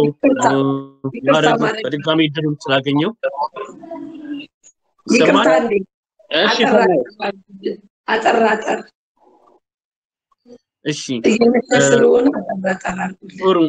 ምንድነው እንዳልከው የጅዋርና የእስክንድር እስር በእውነቱ ሁለት የተለያዩ ልክ ለእኔ ብርሃንና ጨለማን አንድ አድርጎ እንደማየት ነው የምቆጥረው። ጅዋር ማለት ህዝብን ያስገደለ ያሳረደ ጽንፈኛ እንደ አንድ አሸባሪ ተቆጥሮ ቀደም ብሎ ለፍርድ ሊቀርብ የሚገባው ሰው ሲሆን እና አብይ ግን ከመነሻው ጀምሮ ይከተሉት የነበረው የኦሮሞማ ፖለቲካ አካልም ስለነበረ ዝም ብለው አልፈውት ነው። በኋላ ግን ወደ ራሳቸው ስልጣን ሲመጣባቸውና እነሱኑ ያልሆነ ስም እየሰጠው እየከፋፈለው በራሱ ላይ ካምፓይን ማድረግና ዘመቻ ሲጀምርበት የዛን ጊዜ በጥዋጭና ሌላም ሌላም ብሎ በስልጣኑን ለመጠበቅ አብይ ቀናይ ስለሆነ በየትኛውም መንገድ ይሁን በስልጣኑ የመጣበትን ሰው ስለማይምር ወደ እስር ከቶታል እንጂ ጅዋር የሰራውን ኃጢአትና ወንጀል በኢትዮጵያ ህዝብ ላይ የፈጸመውን ወንጀል ወንጀል ነው ብለው ከልብ ወስደው አይደለም እስር ቤት ያስገቡት። ሁለተኛ የእስክንድር ነጋ የፖለቲካ እንቅስቃሴ ምን ያህል ኢትዮጵያንና በተለይ እዚህ ዲያስፖራ መጥቶ ተገናኝተነው ነበር። እዚህ እኔ ቴክሳስም አግኝቸው ነበር እስክንድርና በጋራ አብረን እንደምንሰራ ብዙ ነገር ተነጋግረናል እና እዚህ ከመጣና መላው ዲያስፖራ በሙሉ በሱ ጀርባ ላይ እየተንቀሳቀሰ እንዳለ ሲያዩ የፈጠረውንም የገንዘብ አቅምና በቀጣይ በኢትዮጵያ ላይ ተጽዕኖ ማምጣት የሚችለውንም ነገር ፕላስ ደግሞ አዲስ አበባ ላይ አትኩሮ የሚሰራ ድርጅት በመሆኑ አዲስ አበባ ላይ ሰራህ ማለት ለድል ኢትዮጵያን ነፃ ወጣ ማለት ነው። ወያኔ 17 ዓመት ታግሎ እኮ ነፃ የሆነው የአዲስ አበባን ሬዲዮ ዳባ ተቆጣጠርኩ ሲል ነው። በቃ ድሉ ያበቃው ስልጣን ላይ ይወጡ። ቅንጅትም ልክ 1997 ዓመተ ምህረት እኮ አዲስ አበባን ሲቆጣጠር ኢህአዴግ ሞቷል። ቅንጅቶች አላወቁትም እንጂ የዛን ጊዜ የዛን ጊዜ አንዱ እኔ ወደ ፖለቲካውም አንዱ ያስገባኝ ትክክል ይሄ ነው እኮ ፓርቲ መስርቼ መጀመሪያ ኢትዮጵያ ላይ የሚባል ፓርቲ በኋላ አዲስ ትግሉ ፓርቲ ያኛውም አጭበርባሪ ስለሆነ ስለዚህ የመጣው ለዛ ነው። አዲስ አበባ ላይ ድል ስትቀናጅ አገር እንደተቆጣጠርክ ይቆጠራል። ስለዚህ እስክንድር ነጋም አዲስ አበባ ላይ አትኩሮ እምብርቷ ላይ የ center of gravity ላይ የሚሰራ ሰው በመሆኑ ይሄ ተረድተውታል። ስለዚህ እሱን አጃምለው በዚህም በዚህም ብለው ማሰር አለባቸው፣ ትግሉንም ማቆላሸት አለባቸው። እሱ ሲታሰር ሌሎች ደግሞ ይፈራሉ ለህልውናቸው። ምክንያቱም የምትበላው የምትጠጣውን ያሳጥሃል፣ ቤተሰብህን ይጎዳሃል። ከዛ በኋላ ምን ትሆናለህ? መንቀሳቀስ አትችልም። at least እንደኛ እንዲህ ዲያስፖራ ላይ ወይ ሆነ አንጻራዊ ነፃነትና ዳቦህን እያገኘ ካልታገልኩ በስተቀር አዲስ አበባ ውስጥ ሆነ አሁንም ከመካከላቸው ቀና ብለው የሚወጡ ካሉ እነሱንም ሰበብ እየፈጠረ ትግሉን ነው የሚያዳክሙ። ስለዚህ ትግሉ የበለጠ መጠናከር ያለበት አንጻራዊ ነፃነት ባላቸው የባልደራስን ዓላማ ያነገቡ ኢትዮጵያውያን አዲስ አበባውያን ይሄን ትግል እያጠናከር ነው መሄድ ያለብን። እዛ ያለው ስራ ዋና ሁኑ። መሬቱ ላይ ያለው ስራ እንደገና ዲያስፖራና እንደዚህ ባለ በኔትወርክ ሲተሳሰር ነው ለትግሉ ለውጤት የሚበቃው ብዬ ነው ማምነው። ስለዚህ ሁለቱ የጨለማና የብርሃን ልዩነት ያላቸው ሰዎች ናቸው። አሁን ሊፈታው የሚችለው ደግሞ ምክንያቱም በቀጣዩ የምርጫ ተግዳሮቱ አንዱ ኦሮሚያ ውስጥ በኦፌኮ እና በራሱ በኦሮሞማ ወይም በፕሮስፐሪቲ መካከል የሚኖረው ውዝግብ ቀላል ውዝግብ አይደለም የሚሆነው። ስለዚህ ራሱ ዶክተር አብይ ኦሮሚያ ውስጥ ድምፅ የማግኘቱ ሁኔታ አጠራጣሪ ነው የሚሆነው። ስለዚህ አንድም ከኦፕኮ ጋር ይሄንን ከምንም በላይ ኦሮሞማ ሊሉ ይችላሉ። ሁሉም ሲገለበጡ አንድ ናቸው። ከዶክተር መራራ ጀምሮ የተማረ ፕሮፌሰር ነኝ political science አዋቂ ነኝ ይላል እንጂ ያው እሱ የሚመራው የዘር የጎሳ ፖለቲካ የወረደ የሚያስተምረውን ትምህርት እውቀት እንኳን በተግባር ተግብሮ የማይታይ ሰው ሆኜ ነው ማለት በሱ ደረጃ በሱ ደረጃ ወደ አንተ ተመልሼ እመጣለሁ። ቢኒያም እና አንተ ጋር ቀጥላለሁ። ይቅርታ አድርግልኝ። እህታችን ሰናይትና እህታችን ዘኔባ የተሟላ ነገር በሌለበት ስቱዲዮ ውስጥ ቢሮ ውስጥ ቁጭ ብለው ትራንስፖርት መኪና ሰርቪስ በሌላቸው ሁኔታ ለእኛ ለኢትዮጵያን ለአዲስ አበባ ድምፅ ለመሆን ለእውነት ለሀቅ ቆመው እስከዚህ ሰዓት በዚህ ሰዓት ኢትዮጵያ ላይ I think ካልተሳሳት ከምሽቱ አምስት ሰዓት ይመስለኛል። አይዶን ነው ሰዓቱን አራት ሰዓት ነው። ትራንስፖርትም ያለው ችግር እናውቃለን። እንግዲህ እህታችንን ሁለት እውነታችን በአጭሩ የሚሉትን ነገር ቢጨምሩት የሚያስተላልፉት መልእክት አሰምተን እናሰናበታቸዋለን። በእኔ በኩል ግን ምንም ባልተሟላ በባዶ ቤት ውስጥ ለህዝብ ነፃነት ብላችሁ እስከዚህ ሰዓት ድረስ ቆይታችሁ ለኢትዮጵያን ድምፅ ለመሆንና ሀሳብ ለማካፈል በመገኘታችሁ ትልቅ አክብሮት አለኝ። የቀረ ነገር የምትሉት ካለ እድሉን ለእናንተ ረግዬ አመሰግናለሁ። ያው እንደምታውቀው ሁላችንም አውርተነዋል ስለ አዲስ አበባ ጉዳይ ብዙ እንጮዋለን፣ ገና እንጮዋለን። ብዙም ትግል ይጠብቀናል። እውነት ለመናገር ያው እግዚአብሔር እንደፈቀደው ተነስተናል። ያነሳንም እኔ እንደሚመስለኝ እግዚአብሔር ስለ አዲስ አበባ ልንጮ ያነሳን ምክንያቱ ራሱ የእሱ ስሜት ይመስለኛል። ባልደራስን እንደከፈተልን በአዲስ አበባ ዙሪያ አንድ ላይ ሆነን እንድንጮ እናንተንም አሰባስቦልናል። የቀሩትንም ያልሰሙትንም እግዚአብሔር እንዲያሰማልን እንለምናለን እና ትግላችን ወደፊትም እንደሚቀጥል ነው። ግን ለዚች ለኢትዮጵያ ሕዝብ የማስተላልፈው አዲስ አበባ ማዳን ኢትዮጵያ ማዳን ነው ሁላችሁም ብላችሁታል እና የግድ በአሁን በአዲስ አበባ ጉዳይ ላይ ዙሪያችንን ተከበን ስላለን የግድ የሚነሱበት ወቅት ስለሆነ የአዲስ አበባ ህዝብ ቢያዳምጠውና ባልደራስን ለራስ አገዛዝነት ፊርማ ባሰባሰብ ነው እንኳን መሰረት እርግጥ ብዙዎቹ እየፈረሙልን ነው። አሁንም ፊርማው አለ። ስለ ራስ ገጽ ራሷን በራሷ ታስተዳድር ማለት ነው። አዲስ አበባ ራሷን በራሷ ታስተዳድር። በቃ ሌላ ነገር እንድናስተዳድርና የአዲስ አበባ ህዝብ ነፃነቱን ለማወጅ መንገዱና አሁን ፍጻሜው ስለሆነ ባልደራስ እየመጣ መብቱን በፊርማውን ቢያረጋግጥ፣ በሁለተኛም ደረጃ ከኛ ጋር አብሮ ታግሎ ምንም ጥያቄ የለውም። ከባልደራስ ውጭ ሌላ ፓርቲ ላይ ምንም አሁን በአዲስ አበባ ጉዳይ ላይ ሌላ ፓርቲ ምንም አይነት ነገር ቢሆን ኢትዮጵያ ማዳን አዲስ አበባ ማዳን ነው የሚለው ነገር ላይ በባልደራስ ውጭ ብቻ ስለሚታይ ባልደራስ እየመጡ የራሳቸውንም አሻራ እያሳረፉ ከኛ ጋር አብረው ቢሰሩ በጣም ደስ ይለናል። እስክንድርን ነጋ በዚች አጋጣሚ ቢያስቡት ደስ ይለናል። እናመሰግናለን። እንግዲህ ድል ለባልደራስ ከእግዚአብሔር ጋር። እሺ ማረግዬ፣ እኔም በጣም አመሰግናለሁኝ። ለእናንተም ትልቅ ምስጋና ማቅረብ ፈልጋለሁኝ። ስለ ሀገራችሁ የታገላችሁ ነው ሁላችሁም። ሁሉም ስለ ኢትዮጵያ ጉዳይ የሚታገል በሙሉ ሊመሰገን ይገባል። ማለት መተቸት ማለት መንግስትን መቃወም ማለት መንግስትን መቃወም ብቻ አይደለም። እሱንም እሱም በደንብ እንዲሰራ እንደ ማበረታቻ እንደውም እንደ አንድ እኮ እንደ ማነቃቂያም ሊወስደው ይገባል እኮ መቃወም ማለት እኮ ሰው ሌሎች ሀገሮች እኮ በፖሊሲ ብቻ እየተቃወሙ እኮ ተቋሚ ፓርቲ እየመሰረቱ ይቃወማሉ። አይደለም ኢትዮጵያ ውስጥ የሁሉ ችግር ኖሮ ይህ ሁሉ ይህን ህገ መንግስት ተጥሎብን ሌላ ሌላ ምንም ቀርቶ ለፖሊሲ እንኳን የሚቃወሙ ብዙ ፓርቲዎች አሉ እና ትልቅ ጉዳይ ነው የያዝነው። እኔ በዚህ አጋጣሚ ማስተላለፍ የምፈልገው ሁሉም ኢትዮጵያዊ ይህን ኮዝ ገዝቶት ከባልደራስም ጎን መሆን አለበት። የኢትዮጵያ ጉዳይ የኔ ጉዳይ ነው፣ የእያንዳንዱ ጉዳይ ነው ብሎ ሁሉም ነቃ ብሎ መከታተል ያለውን ሁኔታ ማየት አለበት፣ መገንዘብ አለበት ብዬ አስባለሁኝ። በጣም አመሰግናለሁኝ። ያው ስለመሸብን ሰላም ሁኑልን።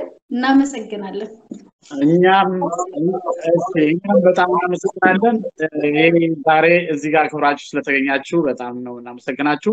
የመጀመሪያችን አይደለም የሆነው በተከታታይ ሰዓት በተከታታይ ፕሮግራም ከእናንተ ጋር ብዙ የምንሰራቸው ፕሮግራም አለን። ምክንያቱም አላማችን ኢትዮጵያን ማዳን ነው። ኢትዮጵያን ለማዳን ደግሞ አዲስ አበባ መዳን አለባት መጀመሪያ የሚል እቅድና ፕሮግራም ይዘን የተነሳ ነው። ስለዚህ በሰፊው ከእናንተ የምንገናኝበት ተደጋጋሚ ፕሮግራም ስላለን ለዛሬው ግን ስላስቆየናችሁ እና በማይሆን ውጥረት ውስጥ ሰዓት ውስጥ ይህንን ስላስተላለፋችሁልን ትልቅ አክብሮት እሰጣለሁ። አመሰግናለሁ።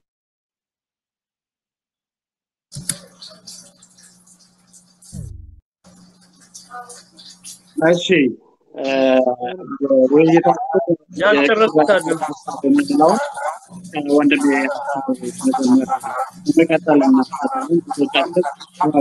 አመቺ ባልሆነ ሁኔታ ውስጥ ትራንስፖርት በሌለበት ምቹ ባልሆነ ቢሮ ውስጥ ሆነው ለእኛ ድምፅ ለመሆን ሁሉ ነገራቸውን እያደረጉ እንደሆነም ህዝቡ የሚገንዘብልን አስተማማኝ የሆነ ትራንስፖርት የራሳቸው መኪና የራሳቸው የተሟላ ነገር ቢኖራቸው እንደዚህ ሳይጨናነቁ ሳይሯሯጡ ሀሳባቸውን ይገልጹ ነበረ።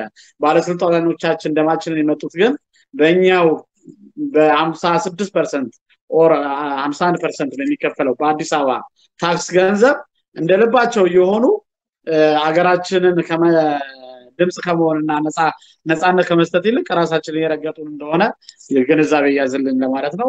አስፋው ወንድም አቋርጬህ ነበረ። ወደ ሀሳብ ተመለስ። አመሰግናለሁ። እና ምንድን ነው ምናልባትም ጀዋርን ሊፈታው የሚችለው አንዱ ለፖለቲካ ሲል ነው።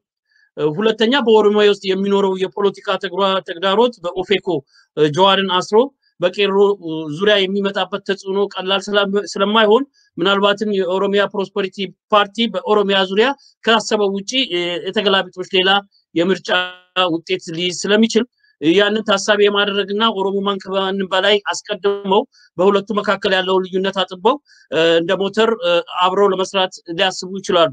ይህን እንደ አንድ ስትራቴጂ አስቦት ሊሆን ይችላል በኋላ ምክንያቱም ቀላል ነገር አለ። በኦፌኮ እና በፕሮስፐሪቲ መካከል ያለው ችግር አሁኑ ራሱ ከመነሻው ማለት ነው። አንዱ ይሄ ነው።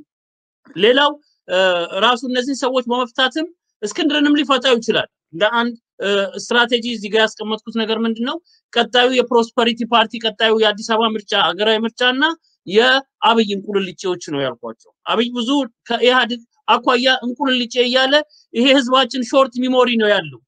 ትላንትና አብይ የዛ ስርዓት ግፈኛ ብሎ ራሱ ሲቆጥረው በነበረው ስርዓት ውስጥ እንደ መረብ በህዝብ ላይ መረቡን ወርውሮ አሳውን እንደሚያጠምድ ሰው የደህንነት መረቡን ይዞ እያንዳንዱን ለኢትዮጵያ ህዝብ ህልውና የሚታገለውን ሰው ሲያጠምድ የነበረ ሰው እንዳልሆነ ሁሉ የኢትዮጵያ ህዝብ ያንን ሰው ረስቶ ኢትዮጵያ ኢትዮጵያ ሲል ከሌላ ሀገር እንደመጣለት ከሰማይ እንደወረደለት አዲስ ሰው ነው የተቀበለው።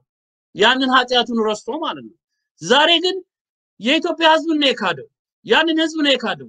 የህዝብ ምን አይነት ነፃነት፣ ምን አይነት ህገ መንግስት ለውጥ፣ ምን ይፈልግ እንደነበረ በግልጽ ይናገራል። ትግሉ ምን እንደነበረ ይታወቃል። አሁን የኦሮሞማን ፕሮግራም እና የተረኝነቱን ፖለቲካ አምጥቶ አስቀምጠውታል። በዚህ ምርጫ ውስጥም ይህንን ተረኝነት አጥብቀው ዙሩን ባከረሩት መጠን የመውደቅ መጠናቸው ስለሚቀየር ሊወድቁ ስለሚችሉ ጨዋታውን ይቀይሩታል። እንቁልልጬ ፖለቲካ ይጀምራሉ። ልክ እንደ ኢህአዴግ ማለት ነው። ኮንዶሚኒየምን መዝግብ ሊሉ ይችላሉ ወጣቱ። ምክንያቱም ወጣቱ በየጊዜው እየፈላ እየበዛ መቀመጫ የሌለው ቤት የሌለው በመሆኑ አሁን ወደ ማማጋጋት ይሄዳል። አብዛኛው ደግሞ ተስቦ አብይን ተቀባይነት ያገኘበት ሁኔታ ስለነበረ አሁን በትንሹ ሊመልሰው ይችላል። ኮንዶሚኒየም ሊል ይችላል። ያለውን ገንዘብ ሁሉ አሰባስቦ የወጣቶች ፕሮጀክት እና ስልጠና እያለ አበል ሊረጭ ይችላል። እነዚህ እንቁልልጭዎች ናቸው። በአዲስ አበባ ዙሪያ ኮንዶሚኒየም ሊል ይችላል፣ ፕሮጀክት ሊል ይችላል። ሌሎች ብዙ የማታለያ ነገሮችን በሙሉ ሊያመጣ ይችላል። በእናቶች ዙሪያ ልክ ኢህአዴግ ያደርገው የነበረውን የቡና ጠጡ እያለ አሮጊቶች ዛሬ አዲስ አበባ ላይ ባለው የኑሮ ውድነት የቡና መግዣ ከሰጣቸው እናቴ እነሱ የሚፈልጉት ይህንን ነው። እኔ እናውቀዋለን። እዛው እናቶቻችን በሙሉ ለቡና እየተባሉ ይሰበሰቡ እንደነበረ።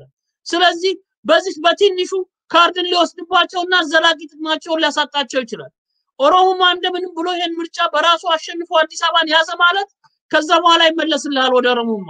ዛሬ ግን እስከ ምርጫው እስኪመጣና ይሄ እስኪያልፍ ድረስ በአዲስ አበባ ላይ ልክ እንቁልልጬ ወይንም መልካም መልካም ለመምሰል እንደገና ኢትዮጵያ ኢትዮጵያ ሊል ይችላል። ባንዲራህን ያዝ ሊል ይችላል። ተመልከቱ ጥምቀት ላይ የሆነውን ነገር አሁን ትላንት አምና ምን አይነት ነበር? አታከብርም እያለ ባንዲራ አትይዝም እያለ ለምን ለበስክ የሚልህ ዛሬ ምርጫ ከፊት ለፊቱ ስለመጣ የአሁኑን ጥምቀት በዓል ይዩት። አዳነች አቤቤ ሄዳ ጃንሜዳን ውሰዱ ያው ትላለች። ነገ ይነጥቁሃል። ተቋም ያደርጉበታል። ተቋማቸውን ይገነቡበታል። ስልጣናቸውን ካረጋገጡና ወደ ስልጣን ከመጡ በኋላ የኢትዮጵያ ሕዝብ ዘላቂ ጥቅምህን እንዳትሰጥ ዛሬ በሚካሄድ ማንኛውንም የማ የመሸምገያ የመደለያ መሳሪያዎች በሙሉ አብይን በተግባር በተግባር በአፍ ብቻ ሳይሆን ተግባሩና አፉ የተለያየ ሰው መሆኑን አይተሃል። ቢያንስ እነመለስ እኮ እነ TPLF ኦች እኮ በእውነት development ኡን ልማቱን ምናምኑን ኮንዶሚኒየሙን ብለው በተወሰነ መልኩ እንዳልኩ እህቴ ቅድም አስቀምጠዋለች። ለካድሬና ለነሱ ሰዎች የሚሰጥ ኮንዶሚኒየም እንዳለ ሆኖ በተወሰነ መልኩ ሴቶችን እያሉ ሊሰጡ የቻሉበት ነገር እንዳለ ታሳቢ እናድርገው። የአሁኑ ኦሮሞማ ግን የለፋህበትን አስራ አምስት ዓመት እኔ ራሴ ያው ከዘጠና ሰባት ተመዝግበን እስከ ዛሬ ያላገኘ ነው መሆኑን ነው የምነግርህ። ስለዚህ ትላንትና ቄሮ ተብሎ ድምፅ የሚሰጥና ሌላው ነው መብቶ የሚወስደው።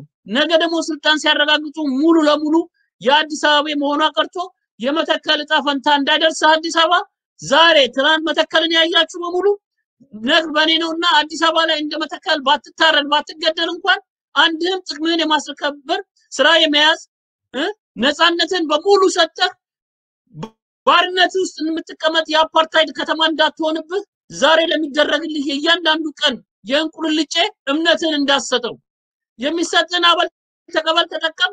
ልክ ቅንጅት ላይ እንደተደረገው ካርድህን ግን ራስህን ነፃ ለማውጣት ተጠቀምበት፣ ባልደራስን በመምረጥ እውነቴን ነው ምለው። ስለዚህ አዲስ አበባን ነፃ ለማውጣት ለሚደረጉ እንቁልልጬዎች እንዳንሸወድ። በአዲስ አበባ ብቻ አይደለም፣ በኢትዮጵያ ደረጃም ስትሄድ ራሳቸውን እያለሰለሱ ለምሳሌ የወልቃይት ጠገዴ በደም የተከፈለ በመስዋዕትነት የተከፈለውን መሬት ካስወጡና በትግራይ አስተዳደር ውስጥ ካስተዳደሩት አብዮት ይነሳል እያልን ነበር። ዛሬ ምን እያሉ ነው? ምርጫ ከፊት ለፊታችን እያለ ስለሆነ ይቆይ፣ እዛው ያለው የአማራ ኃይል ያስተዳድረው በተወሰነ ጊዜ ድረስ ጠጋ የሚል ነው። ይሄም ጊዜያዊ መፍትሄ ነው። ራስን ለጊዜው ምርጫውን ለማለፍ የሚደረግ ነው። immediately እነዚህ ነገሮች ወደ action ከወሰዱና በትግራይ መልሶ የሚያስተዳድሩት ከሆነ አማራ ክልል የሚነሳውን አብዮት እያዩት ነው። ስለዚህ ማንኛቸውም የሚደረጉ በጎ እንቅስቃሴዎች positive የሚመስሉ ነገሮች በሙሉ ከምርጫና ምርጫን ታሳቢ አድርጎ የሚካሄድ ስትራቴጂ መሆኑንና ነገር ግን ማንነታቸውን ማወቅ መቻል አለብን። ለምድ የለበሰ ቀበሮ ነው። ይሄንን እወቁት። ወይንም ጅብ የማያውቁት ሀገር መጥቶ ቁርበት አንጥፍልኝ እንዳለህ አይነት ጨዋታ ያዙት። የምትጠቀሙትን ነገር ተጠቀሙ። ካርዳችሁን ግን በምንም መልኩ መደራደሪያ እንዳርጉ ኦሮሞማ ሳይውጣችሁ መደራደሪያ እንዳታደርጉት ነው ምለው። ይሄንን ላይ ያደራላል። በጣም እናመሰግናለን። እኔም የምገዛው ሀሳብ ነው። ለምሳሌ አዲስ አበባ ላይ ለተወሰኑ ወጣቶች ስም መጥቀስ አልፈልግም። በስታዲየም ዙሪያ እንኳን እኔ እዛ አካባቢ የዋልኩ ያደግኩ ልጅ ስለሆንኩ ምንም ካሳንቺስ ሲሆን የቢራና የቡና አስጨፋሪ የተወሰኑትን ይዞ ኮንዶሚኒየም በመስጠት ገንዘብ በመስጠት አዲስ አበባን ጸጥ ለማሰኘት እዛች አካባቢ ያለችውን እንቅስቃሴ የታከለው ማደጋጅ ለማስመሰል ሄደዋል። የተቀበሉትም እንኳን እሰየው እንኳን ተቀበላችሁ፣ ንብረታችሁን የራሳችሁን ገንዘብ ነው የተቀበላችሁት። ያልተቀበላችሁትም ግን ሊደርሳችሁ ይገባል። ያ ሊሆን ግን የሚችለው የተቀበላችሁትም ያልተቀበላችሁትም በአንድነት ስትቆሙና መብታችሁን አስጠብቃችሁ የራሳችሁ የሆነ ከንቲባና አስተዳደር ሲኖራችሁ የአዲስ አበባ ተወላጅ የሆነ ባለስልጣንና ፖሊስ ተቋማቶች ላይ የሚሰሩ ሲኖሯችሁ ነው ላለው ልጅ ወንድም ቢኒያም በዚህ ጉዳይ ላይ የራስ አንድ አጭር የሳትኳት ነገር አለች። በተለይ ኢትዮ ሱዳን ጦርነትም ተያይዞ እሱም ራሱ አንድ አጀንዳ ሊሆን እንደሚችል ምርጫው እስኪደርስ አሁን ሲወረን ዝም ያለ ሰውዬ ምርጫ ሊደርስ ሲል ሊጀምረውና የድል አጥቢያ መጠቀሚያ ሊያደርገው ሁሉ እንደሚችል ታሳቢ አድርጎ ኢትዮጵያ ህዝብ ዝም ይላል። አሁን ይሄው ወሮን ምርጫው ሊደርስ ሲል ግን ያዝምትና ሄጄ በድል መተዋት ብሎ ጉሮ ሸባዬ እያለ ወደ ምርጫ ሊመጣ እንደሚችል የኢትዮጵያ ህዝብ ይሄንንም ታሳቢ በምንም አይነት ነገር ካርድህን እንዳትደራደር ለኦሮሙማ ይህችን ለመጨመር ፈልጌ ጥሩ ሀሳብ ነው። ምንድነው በአጭሩ አሁን የሚደረጉላችሁ ነገሮች በሙሉ ጊዜውን የጠበቁ ናቸው፣ ቀጣይነት የላቸውም። ልክ እንደ Christmas እንደገና Christmas ፈራሽ ነገር ናቸው። ከምርጫ በኋላ አክቱ ነው የምትባለው። ቀድመ አሁን ራስን ወቅ ለራስ ለነፃነት ለህዝብ ስትል ቁም ነው ወንድሜ ቢኒያም ይህንን በማስመልከት እና በአውሮፓ በአሜሪካ ያሉ መላው ኢትዮጵያ ያሉ በአፍሪካ በኤምሬት በሁሉም በመላው ዓለም ያሉ ኢትዮጵያኖች ተበትነናል። ወደን ሳይሆን ተገደን ምን ማድረግ አለብን? ስለ አዲስ አበባ ዝም ከሚለው እንቅስቃሴ ጋር በራስክ ምን የምትለው ነገር አለ? በአጭር አጭር አድርገን አንዳንድ ድለው ለአንተና ላስፋው ሰጣችሁ፣ ሰዓታችን ይሄ ነው። መልካም በመጀመሪያ አንድ ነገር ሳልናገር ያለፍኩት አለ። አስፋው የመሰለን ወንድም ዝም ብሎ ማዳመጥ ከመናገር መቆጠብ ይሆናል እና ያለው እውቀት ብዙ ነገር ትምህርት እየተማርኩ ነው። እኔም ከሱ ጋር ቀርቤ እንደዚህ በመወያየቴ እግዚአብሔርን አመሰግነዋለሁ። ትልቅ እውቀት ነው ናችሁ። ሲቀጥል የአዲስ አበባ ህዝብ ምን ምን ማድረግ አለበት? ይኸው አቶ አስፋው አለው በቃ ካርድ በከረሜላ እንዳትለውጠው ብለዋል። በቃ ሱዳን መጨረሻ ላይ ተናገራታል። እየቆጠቡ ነው የሚያወጣው። የምርጫው ከሁለት ወር በኋላ ሲዳረስ አሁን የነ ደብረ ጽዮን ሬሳው ላይ ያሳዩታል።. ድሮ ነው በፋኖ ጊዜ ነው ጦርነቱ ያለቀ። አስታውሳለሁ የዘመድኩን እንትን ላይ ስከታተል የጽዮን ታቦትን ይዤ እምልልሃለሁ ብሎ አንድ አንድ እነ ፋኖዎቹ ማለት ነው እኛ የእኛ ቶ ምናምን ነው እንደዚህ ሁሉንም የገደላቸው። ግን የአማራን ቲቪ ያወጡና የእንትንን አስገቡ። በፈለግከው ቀኑን ሰዓቱን ያዝልኝ ብሎ አስቀምጦታል።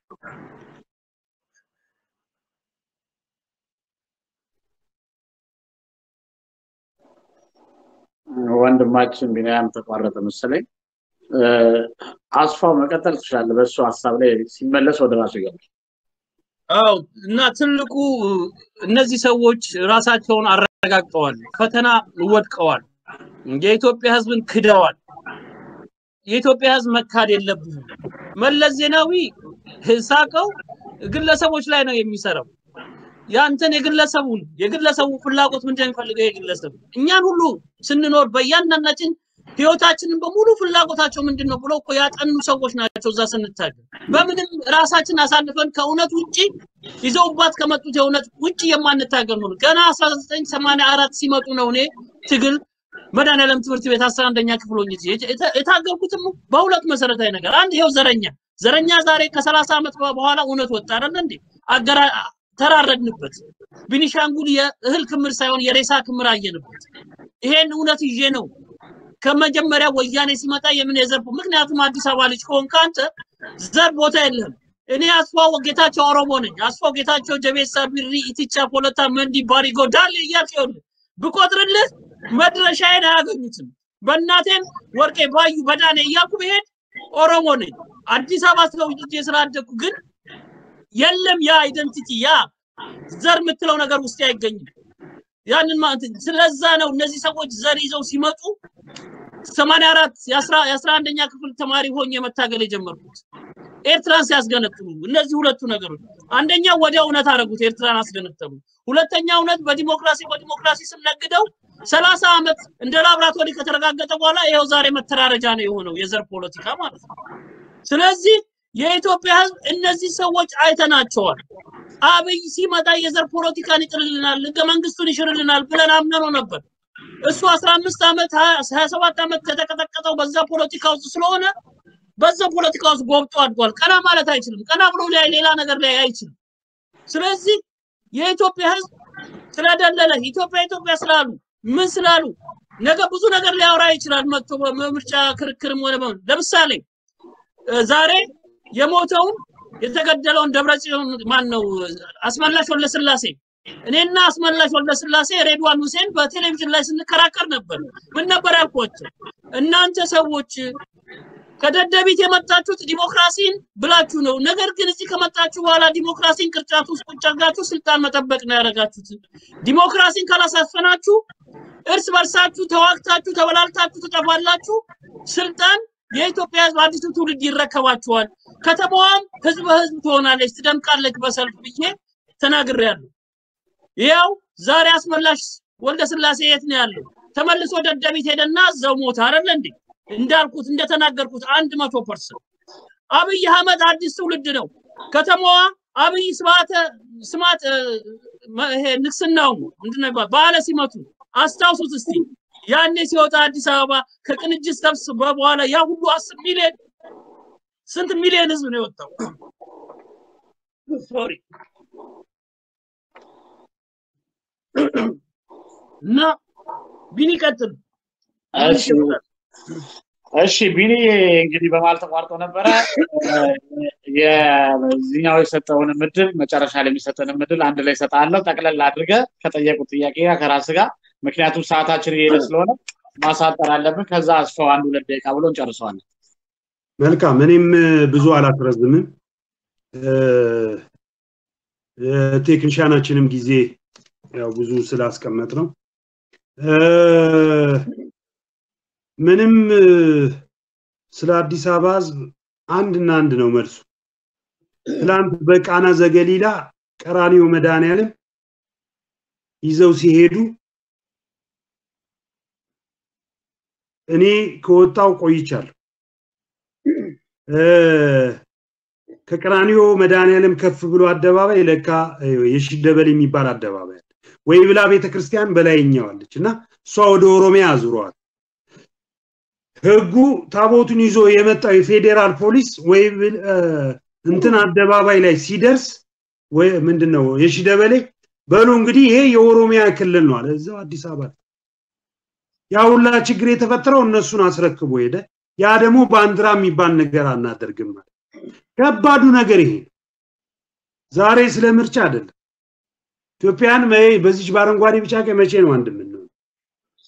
ትልቁ ነገር ቅድም ወይም በግል አንድ ወንድም አለኝ መስፍን technician ኣችን አንድ ጊዜ እንዲህ ስናወራ ብዙ ነገር ከሱ ትምህርት የወሰድኩት ህገ መንግስት ነው ሰው የሚለው ግን ህገ ህዝብ ነው መለወጥ ያለበት። ስለዚህ የህዝብ መተዳደሪያን ነው ማድረግ ያለብን እና የአዲስ አበባ ህዝብ ለእኔ ብለህ ስማ ነው።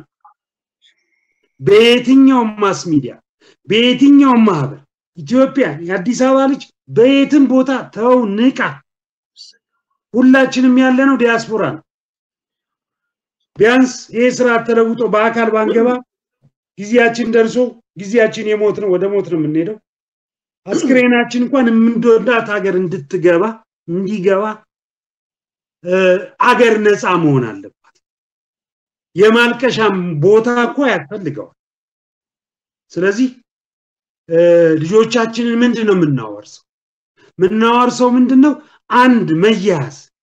ለምንድን ነው የተበደል ነው? ጥቅም ቦታ የለውም። ይኸው የነስብሃትን ልጆች ፌራሪ ምን ሁሉ ነገር ሲያደርጉ አይቷል። ዛሬ የሉም። ይኸው እንደዚህ ታስረው ሙትት ብለዋል። ያሻቸውን አድርገዋል። ሰማይ መድረስ ነው የቀራቸው። ግን ሁሉ ከንቱ ነው። ወገንህን በጥቅም እዚህ ተርቦ አንተ እዛ ዳቦ ለመብላት አታደስ። እኔ መጨረሻ ላይ እኛን ሲያታልለን በመላው ዓለም ለመጀመሪያ ጊዜ ይመስለኛል አዲስ አበባ አንድ ጠቅላይ ሚኒስተር ዳቦ ቤት የመረቀ በየትም ቦታ ኢንተርኔት ገባው የቀበሌ ወይ እንደዚህ ካልሆነ አንድ እንትን እንጂ ወይም የንግድ ሚኒስቴር ምን ያህል ምን ያህል እንደሚያሾፉብኝ የአዲስ አበባ ህዝብ እንደው የዳቦ ረሀብተኛ አድርገው ሲያ አንድ ጠቅላይ ሚኒስትር ለዳቦ ሲመርቅ በጣም ይወርድ። ትናንትና አንድ አክቲቪስት መሐመድ የሚባል ማሜ ማሜ ምን የሚባል እስክንድርን በሞተር ካልገደልኩ ያለው በአንድ እኔ እኮ በጣም የሚገርመኝ ነገር እቺ ሉዓላዊት ሀገር እኮ በጣም በጣም ዓለም ላይ እኮ ያከብሯታል። በጣም እኮ የምትከበር ሀገር ነች። ዛሬ ቱልቱላ ሁላ እነዛ እየዳንዳ ቱልቱላ ሁላ የሚመሯት እንደፈለጉ ያ ወጥቶ መንግስት ህግ በሌለበት በሞተር ናውጣ ሲለው አንዲት ብርቱካን ሚደቅሳ ምርጫ ቦርድ ቁጭ ብላ እውቅና ሰርተክፌት ስትሰጠው አንድ ተራ ጭልፊት ብሎ እያሾፈ ፓርቲ የአዲስ አበባን ህዝብ ሊመራ ይህንን እንኳን ብርቱካን ሚደቅሳ ማስቀረት ነበር። ይህ እኮ ክብር መገለጫው እኮ ነው። አበሻ ትልቅ ሰው ራሱን ፈሪሃ እግዚአብሔር አክባሪ እኮ ነው ኢትዮጵያ የማንም መጫወቻ። ይህንን ላይ ጦስ ዶሮ የምትወስድ ወያኔ ነች። እዚያ አድርሳ ደግሞ ልጆቿ እፉኝት የፉኝት ልጆች በለጡ በጣም እና ያሳዝናል። ይህ የአዲስ አበባ ህዝብ አሁንም የሚጠበቅብህን አድርግ፣ አይንህን ክፈት፣ በአድራስ ካጠገብህ አለ ተመልገት። በኢትዮጵያን በዘርህ ሳይሆን በኢትዮጵያዊነት ተሳሰር። እግዚአብሔር ያክብርልኝ። እሺ እናመሰግናለን ቢኒያም፣ በጣም እናመሰግናለን። ወደ ወንድም ያስፋው የመጨረሻን የሁለት ደቂቃ ድል እሰጥሃለሁ። እውነት ስትናገርና እውነት ስትሰበክ ሴጣን ደስ አይለውም። ለዛ ነው ያነቀ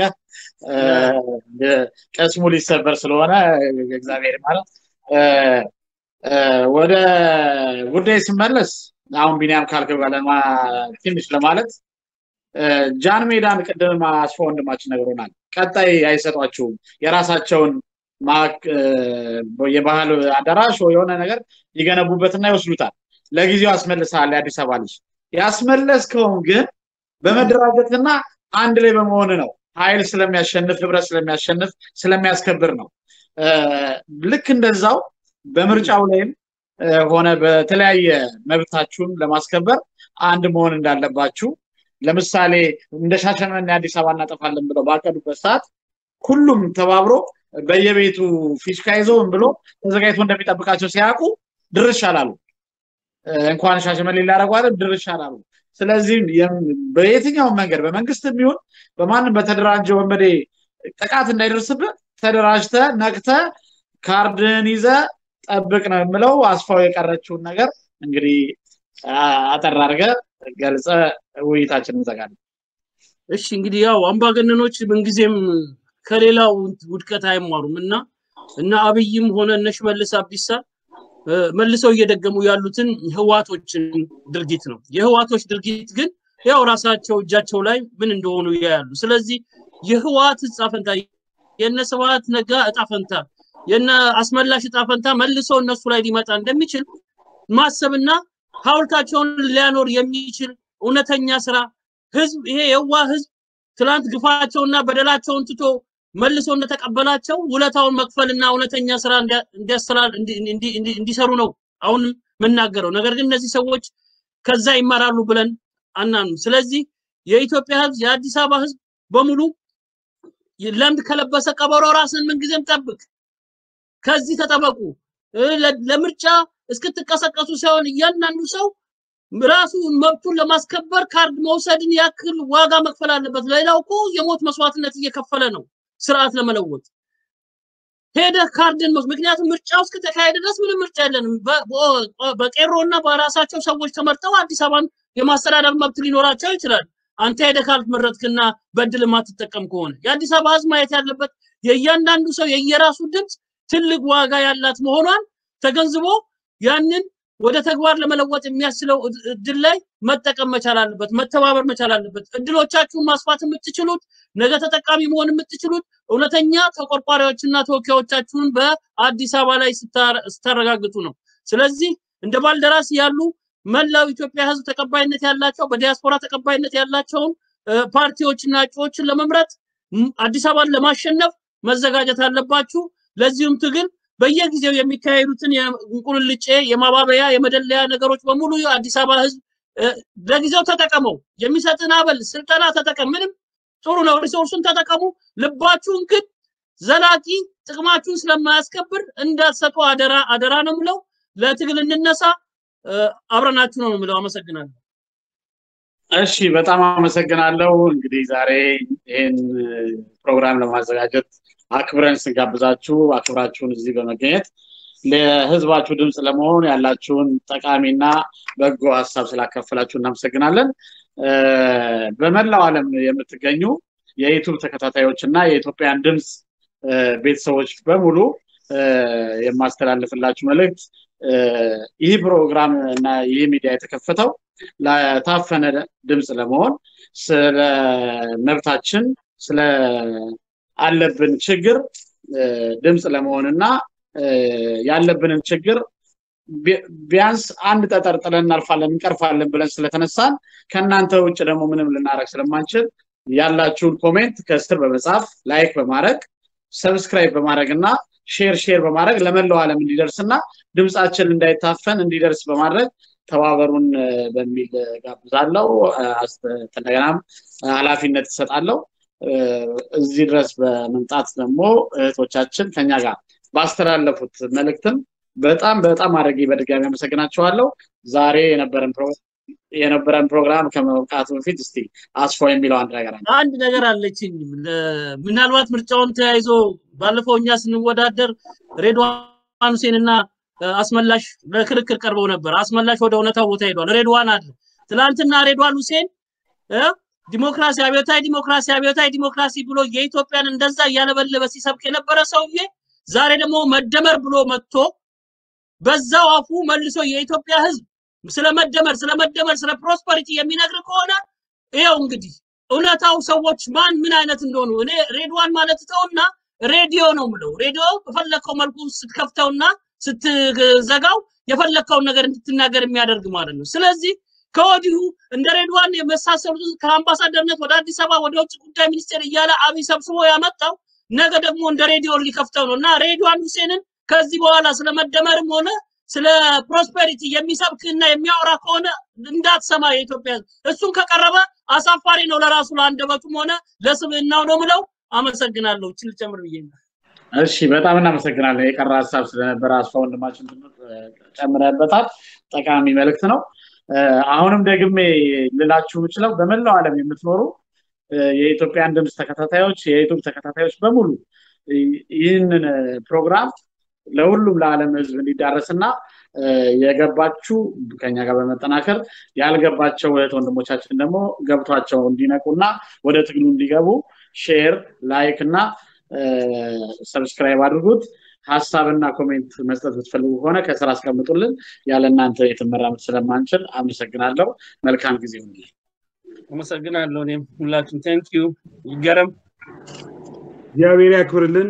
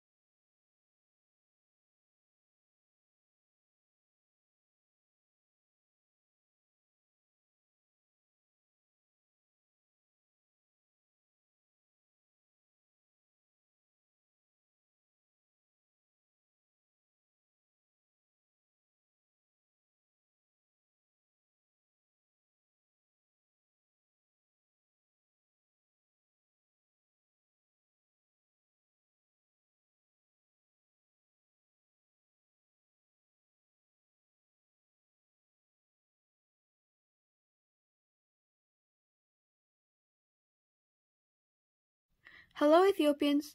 This is your media, Yatopia Nedims.